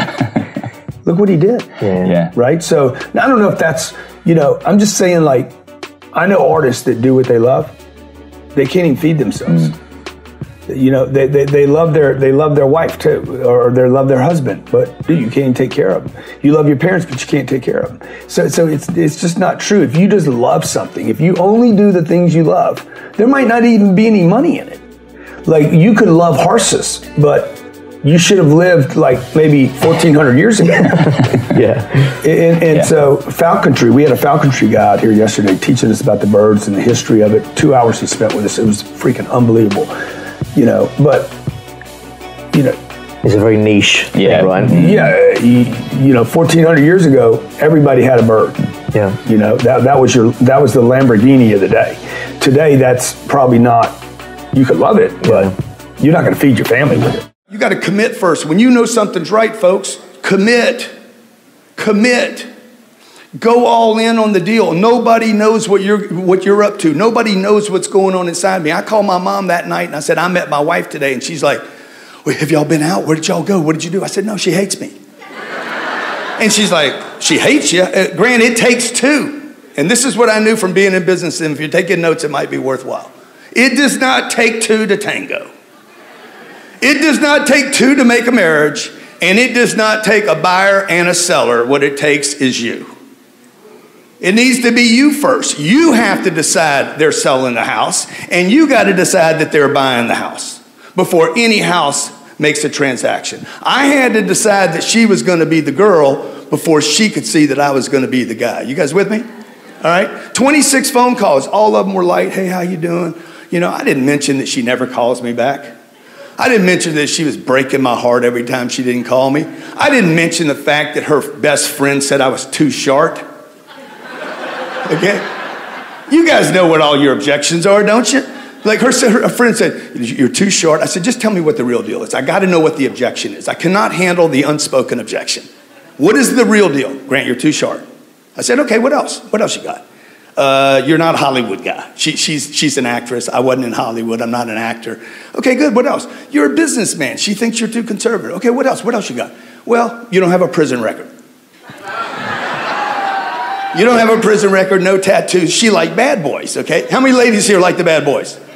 Just be honest. Okay, be honest. Lady over here is like, yes. I love them, okay? So so I just continue to pursue her because like somebody said earlier, sometimes people change. How many of you in the room have changed? How many of you in the room have changed? Exactly. You're going to keep changing too. Some of you you're not going to like. So so I pursued her until one day, because I know this, okay? And you might want to keep this in your collection of how you handle uh, discouragement along the way. When you get a no, would you agree that no is a version of yes? How many would agree with that? Dude, look, I mean, think about it. What's the opposite of yes? What's the opposite of no? What's in between? Maybe. So I always tell people when they tell me no, I'm like, don't say no. say maybe. Okay, just say maybe. No, well, maybe, Grant, maybe, but not right now. Excellent, because I know no's can turn into yeses. I said no to a lot of things in life and then done them. You've walked into a casino before. I am not gambling tonight. I will not gamble. You came down to Cabo. I am not drinking while I'm here. Okay? You, some of you came down. No enriched bread while I'm here. No chips, no guacamole, nothing. Okay? And as soon as you got down here, you're just like freaking hitting shots, eating guacamole, slamming it in your face, right? So, how do you get from no to yes? Just show up in Cabo. It's a maybe, right? How do you get somebody to say, go, go from not selling their house to yes, I will? Get to a maybe. And then follow them up. I actually almost threw away what I had learned and created this new thing called information assisted selling. Information assisted selling. Where I started leading with what people wanted rather than this guy kind of hid. It was the old school, hide it. Don't you know, avoid the price, bring it up later. And that's where I really started accelerating everything, giving people the information up front, allowing you to understand how much this watch or ring was or car was. Before you even asked about it, I'd tell you it's 58,000. Right away. So you wouldn't wait till the very end. You'd say, here's Yeah, so everything. look, look, if you're if you're shopping for a car or a watch or a ring or a, a coaching program, whatever it is, you, you probably want to know how much it is. I know I would. This this particular product's fifty eight thousand. It would require about you know twenty five hundred dollars down. Your payments would be about five fifty a month. Um, let's be sure you're on the right product. You see, I've already. I, I got the va- the value proposition, the money. I got you thinking about money right now. I want you thinking about money, so that when I show the product, you can start making sense of it. Because I can't convince you that it's worth it. You have to So convince you. Yeah. Okay, I can build value, but you, the buyer, is the buyer. I can't be the buyer. I can only help the buyer make sense of it. I've somehow figured out, uh, uh, just over time, that, that, that, that I keep adding these little companies. And I didn't know this, it was just kind of a mistake, but all I was looking for is I didn't want to depend on one flow of anything, okay? This was the first company, this was me. I was out selling stuff, picking up money. Okay, next thing I did was I, I had a partnership with a guy right here uh, called Cardone, the Cardone Group. It's in Orlando, Florida. It's been a partnership for 25 years. Guy paid me a royalty to use my name. It was passive income. I gave him a majority of the company. He sat there for 25 years and went pumped his deal, used my material. Okay, and then we created a third company. This was the real estate. I started investing in real estate. I started buying real estate, provided me with a third flow of income. Now, what happened was I got fat right here and I got, uh, what's the word? Complacent. Like, okay, I'm good. Started playing golf three times a week. Everything's good. Oh, the you know, I'm doing great. I'm Alan. Okay, and and, and then and then and then and then and then and then 2010 came, 2008 came. I was like, it just took the little three circles. I didn't have the fourth circle, the fifth circle, the sixth circle, the seventh circle. I didn't have all these. I didn't have product lineups. How many of you have Cardone U here? Let me just see a hand. Didn't exist that product. Let me see a hand if you have Cardone University. Okay, beautiful man. Look at the penetration. Unbelievable. Like like you if you want if you want customer retention, get saturation. Don't make people happy. Make sure they buy your product. I'm not interested in making people happy. I'm interested in having people on my product. Some people you can't make happy. It's impossible. They're not happy people. All right? So 2010 comes, crushes me. I went back to selling, working on that business right there, and buying more real estate, and then creating more companies, okay? So that I can start bringing good people in. You understand? You got you got to keep expanding. You cannot be dependent upon one thing because that one thing can go away. Everybody agree with that? One ad, one promotion, one person, one product, one of anything. Why don't you be the greatest YouTuber in the world, the greatest skateboarder in the world? Do like something that's real. Don't be a liar. Everybody's going to know it. And the higher the food, higher up you go in the food chain, the, the harder it is to trick people. I don't know. If I was 15 years old today, I'd be probably, I'd probably be teaching people. I'd uh, first I'd go after the kid market, which really is a parent market. I talk to parents, and I'd probably create a YouTube channel about uh, how parents, uh, how kids can parents can get their kids to to learn faster, and and you know maybe come up with some tricks and hacks and ebooks and courses to create a big audience. I don't know that I'd sell anything in the beginning. Maybe I would, but but I need to create a big audience so then later someone, either someone else or myself, can sell something to them. But look, if it, if it doesn't include an audience, you don't have a business. So I think the first thing people need to do is figure out how to create an audience. Hey, it's been said, it's been said by people for thousands of years. What you thinketh is what you getteth. Look behind me, and you will see dreams being made into reality. Imagine that back here in London, uh, I don't know, a thousand years ago, 800 years ago, I don't actually know my history that well. None of this existed. Somebody dreamed about it. Somebody probably thought about, wow, one day we'll have a village there. One day we'll have a city there. So today I want to talk to you about, in this video, I want to talk to you about your dreams, what you're thinking about. What are you imagining? I imagine, I make up in my mind that somebody thought about a little small township, not ever imagining that one day there would be towers and glass and steel and spheres and, oh my gosh, a city with what, 20 million people in it. Literally, where all the money in the universe, all the money on this planet moves through this city. The highly successful people dream, they imagine, they spend time literally writing out what their future might look like. Now, I'm not talking about, when I talk about dreaming in this segment, I'm not talking about when you sleep and dream. I'm not talking about nightmares. I'm not talking about daydreaming. I'm talking about you envisioning what your future might be like. When you see other people and you're like, God, I wish I could do that, or I wish I could have that. Other people, if you speak about that out loud, they're they're going to try to talk you out of it. They're going to tell you things like, "Oh, that's too much and that's ridiculous." I thought, "Oh, I'm going to dream. People are going to try to talk me out of it because I had people trying to talk me out of real estate, being on stage, speaking in front of tens of thousands of people, running my own events, uh, creating millions, hundreds of millions of dollars in net worth. I had people trying to talk me out of that because I thought that they were jealous or envious or that they're like, okay, if Grant gets it, I can't have it. But the truth is, most of the people that were trying to talk me out of my dreams and my visualizations and me spending time on actually imagining what I could achieve, they weren't trying to talk me out of it because they couldn't have it. They were trying to talk me out of it because they quit. Okay, it's crazy. Look, it's not true when somebody tells you you can't have everything you want. Look at this. Look behind me. Look at the ships. Look at the water. Look at the river. Okay? Look at the, the commerce. Look at the monetization that's happening back here. The new buildings that are being built. The, the, the, the glass and the steel and buildings going up way higher than anybody ever imagined possible. Focus on your dreams. The highly successful people do this. They think about what is possible and then they get themselves around other people that are dreaming. You can't just dream on your own. You got to get around other people that actually allow your dream to breathe and helps you with your imagination. You can't really paint, okay, or create art in a vacuum.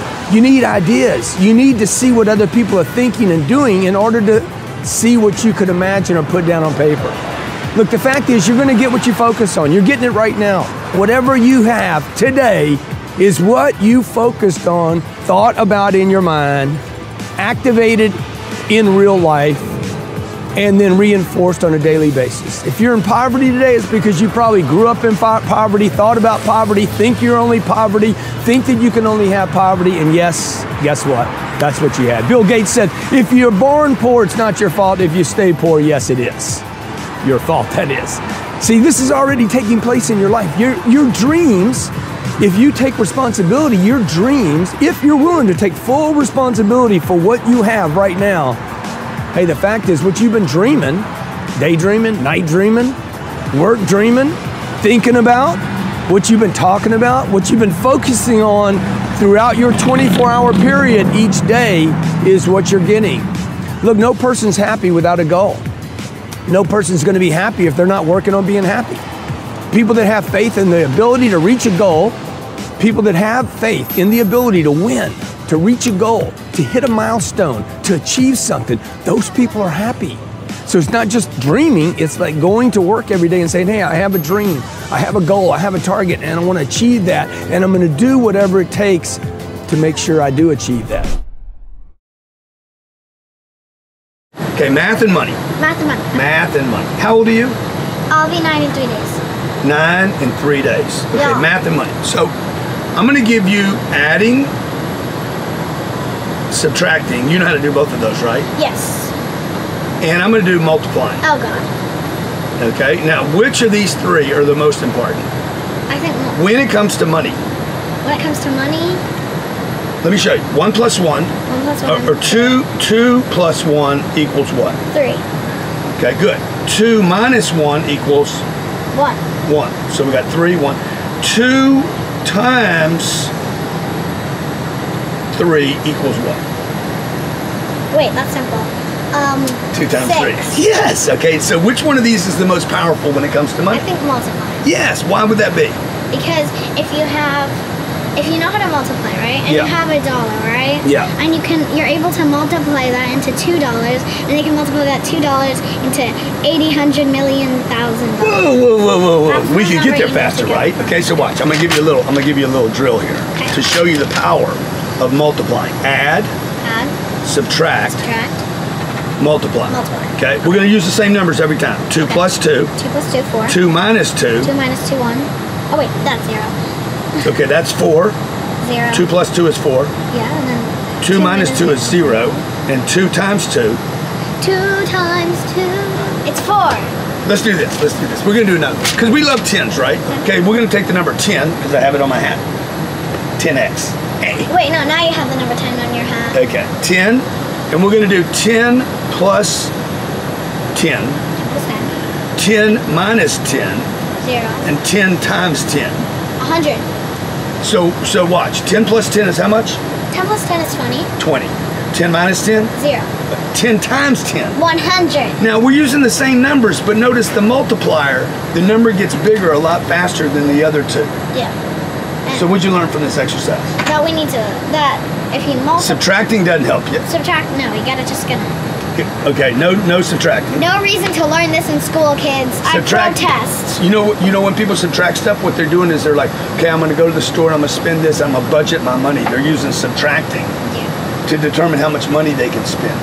If you add, it's obviously going to be less than multiplying because multiplying you're timesing the number, so then it's obviously more because like 10 plus 2 is going to be 12. 12, but 10 times Two. 10 times 2 is going to be 20, so then So multiplying happens more. faster. Yeah. You're amazing. I okay? So when it comes to money, you want to add, subtract, or multiply. You want to multiply mainly and then use the other two for pesky things like Pesky. like stuff that's not needed. You're awesome, buddy. Okay? So now what I have to do is I got to figure out how to go multiply my friends and my money, so I can get Beyonce to come to the 10 Okay, yes. Friends, Can multiply friends. So rather than adding one friend, you could add 10. multiply. We're just gonna write it down. Multiply my friends, multiply my money. Good. Multiply my influence. You know how to spell influence? No, I'm just gonna write it I down. N I N F L U E N C E. Influence. Multiply my power power. Just and like and help more people. Because if I can maybe maybe I can help Beyonce or Dolly Parton or who else? Adriana. Or Her name is I don't think- Ariana Grande. Ariana. Sorry, Just Ariana. remember her by the ponytail. Okay, maybe Bryony Heine can get Ariana. you like Bryony Heine? Okay. All right. So, okay, if I can't get Beyonce and I can't get Adele can't get Adele, and I can't get I think Jimmy Fallon will do it. I can't get A- Ariana. Ariana. Ariana, okay, and I can't get who else did you want? Dolly Parton, Dolly Parton and Jimmy. Jimmy Fallon. Jimmy Fallon. Who else? Who else? Kevin Hart. Kevin Hart. That's the list. I can get. Kevin. You can get Kevin. I believe in Kevin. I already had Kevin. I know. I want Kevin I- again. You want Kevin again? You love Kevin, huh? Kevin's cool. Um, who Because else? he's almost my height. Who else? I'm funny. sorry, Kevin. Okay, who else you want? Um, What about The Rock? Yes, The Rock. Okay, what about? Give me. Jimmy Fallon can bring Ariana Grande. Okay. Um, I either want Beyonce or Adele. Okay, one or the other, not both of them together. I mean, yeah, you can choose. I mean, I'll be perfectly happy with all of them, but. Okay. Um, and then Ariana. Wait, I already said Ariana. Yeah, yeah. And then Dolly Parton. Dolly Parton, and I'll be happy. Okay, I'll tell you what. I'm going to invite one of those people or more. Or, okay. But- and then Kevin Hart has to be. But I need some, huh? And then Kevin Hart. And Kevin Hart. You want Kevin Kevin- Hart again? yes. I already had Shorty. But, but now we're best friends. Zac Efron. No, You know who I don't Joe care Rogan who is? that is. I want Zac Efron. Oh, Zac. You want Zach, Zac. Efron? Okay. All right. Well, you did your math class, so Yeah, I'm going to see what I can do to Efron. get one of or two of these people. Okay. Okay. Because you made it this far in a video, I want to celebrate you. Most people start and don't finish. Most people never actually follow through. Most people say they want something, but they don't ever do the work to actually get it. But you are different. You are special. Believe Nation, you made it here all the way to the end, and I love you. So, as a special celebration, if you put a hashtag believe down in the comments below on this video, I will showcase you and celebrate you somewhere on the screen in a future video because you are awesome. If you want some amazing Warren Buffett motivation, check the video right there next to me. I think you'll love it. Continue to believe, and I'll see you there. Look for the job that you would take if you didn't need a job. I mean, you know, don't sleepwalk through life and don't don't say it's all going to be great. You know, I'll, I'll do this and I'll do that, and you know, I'm just marking time to get to be older.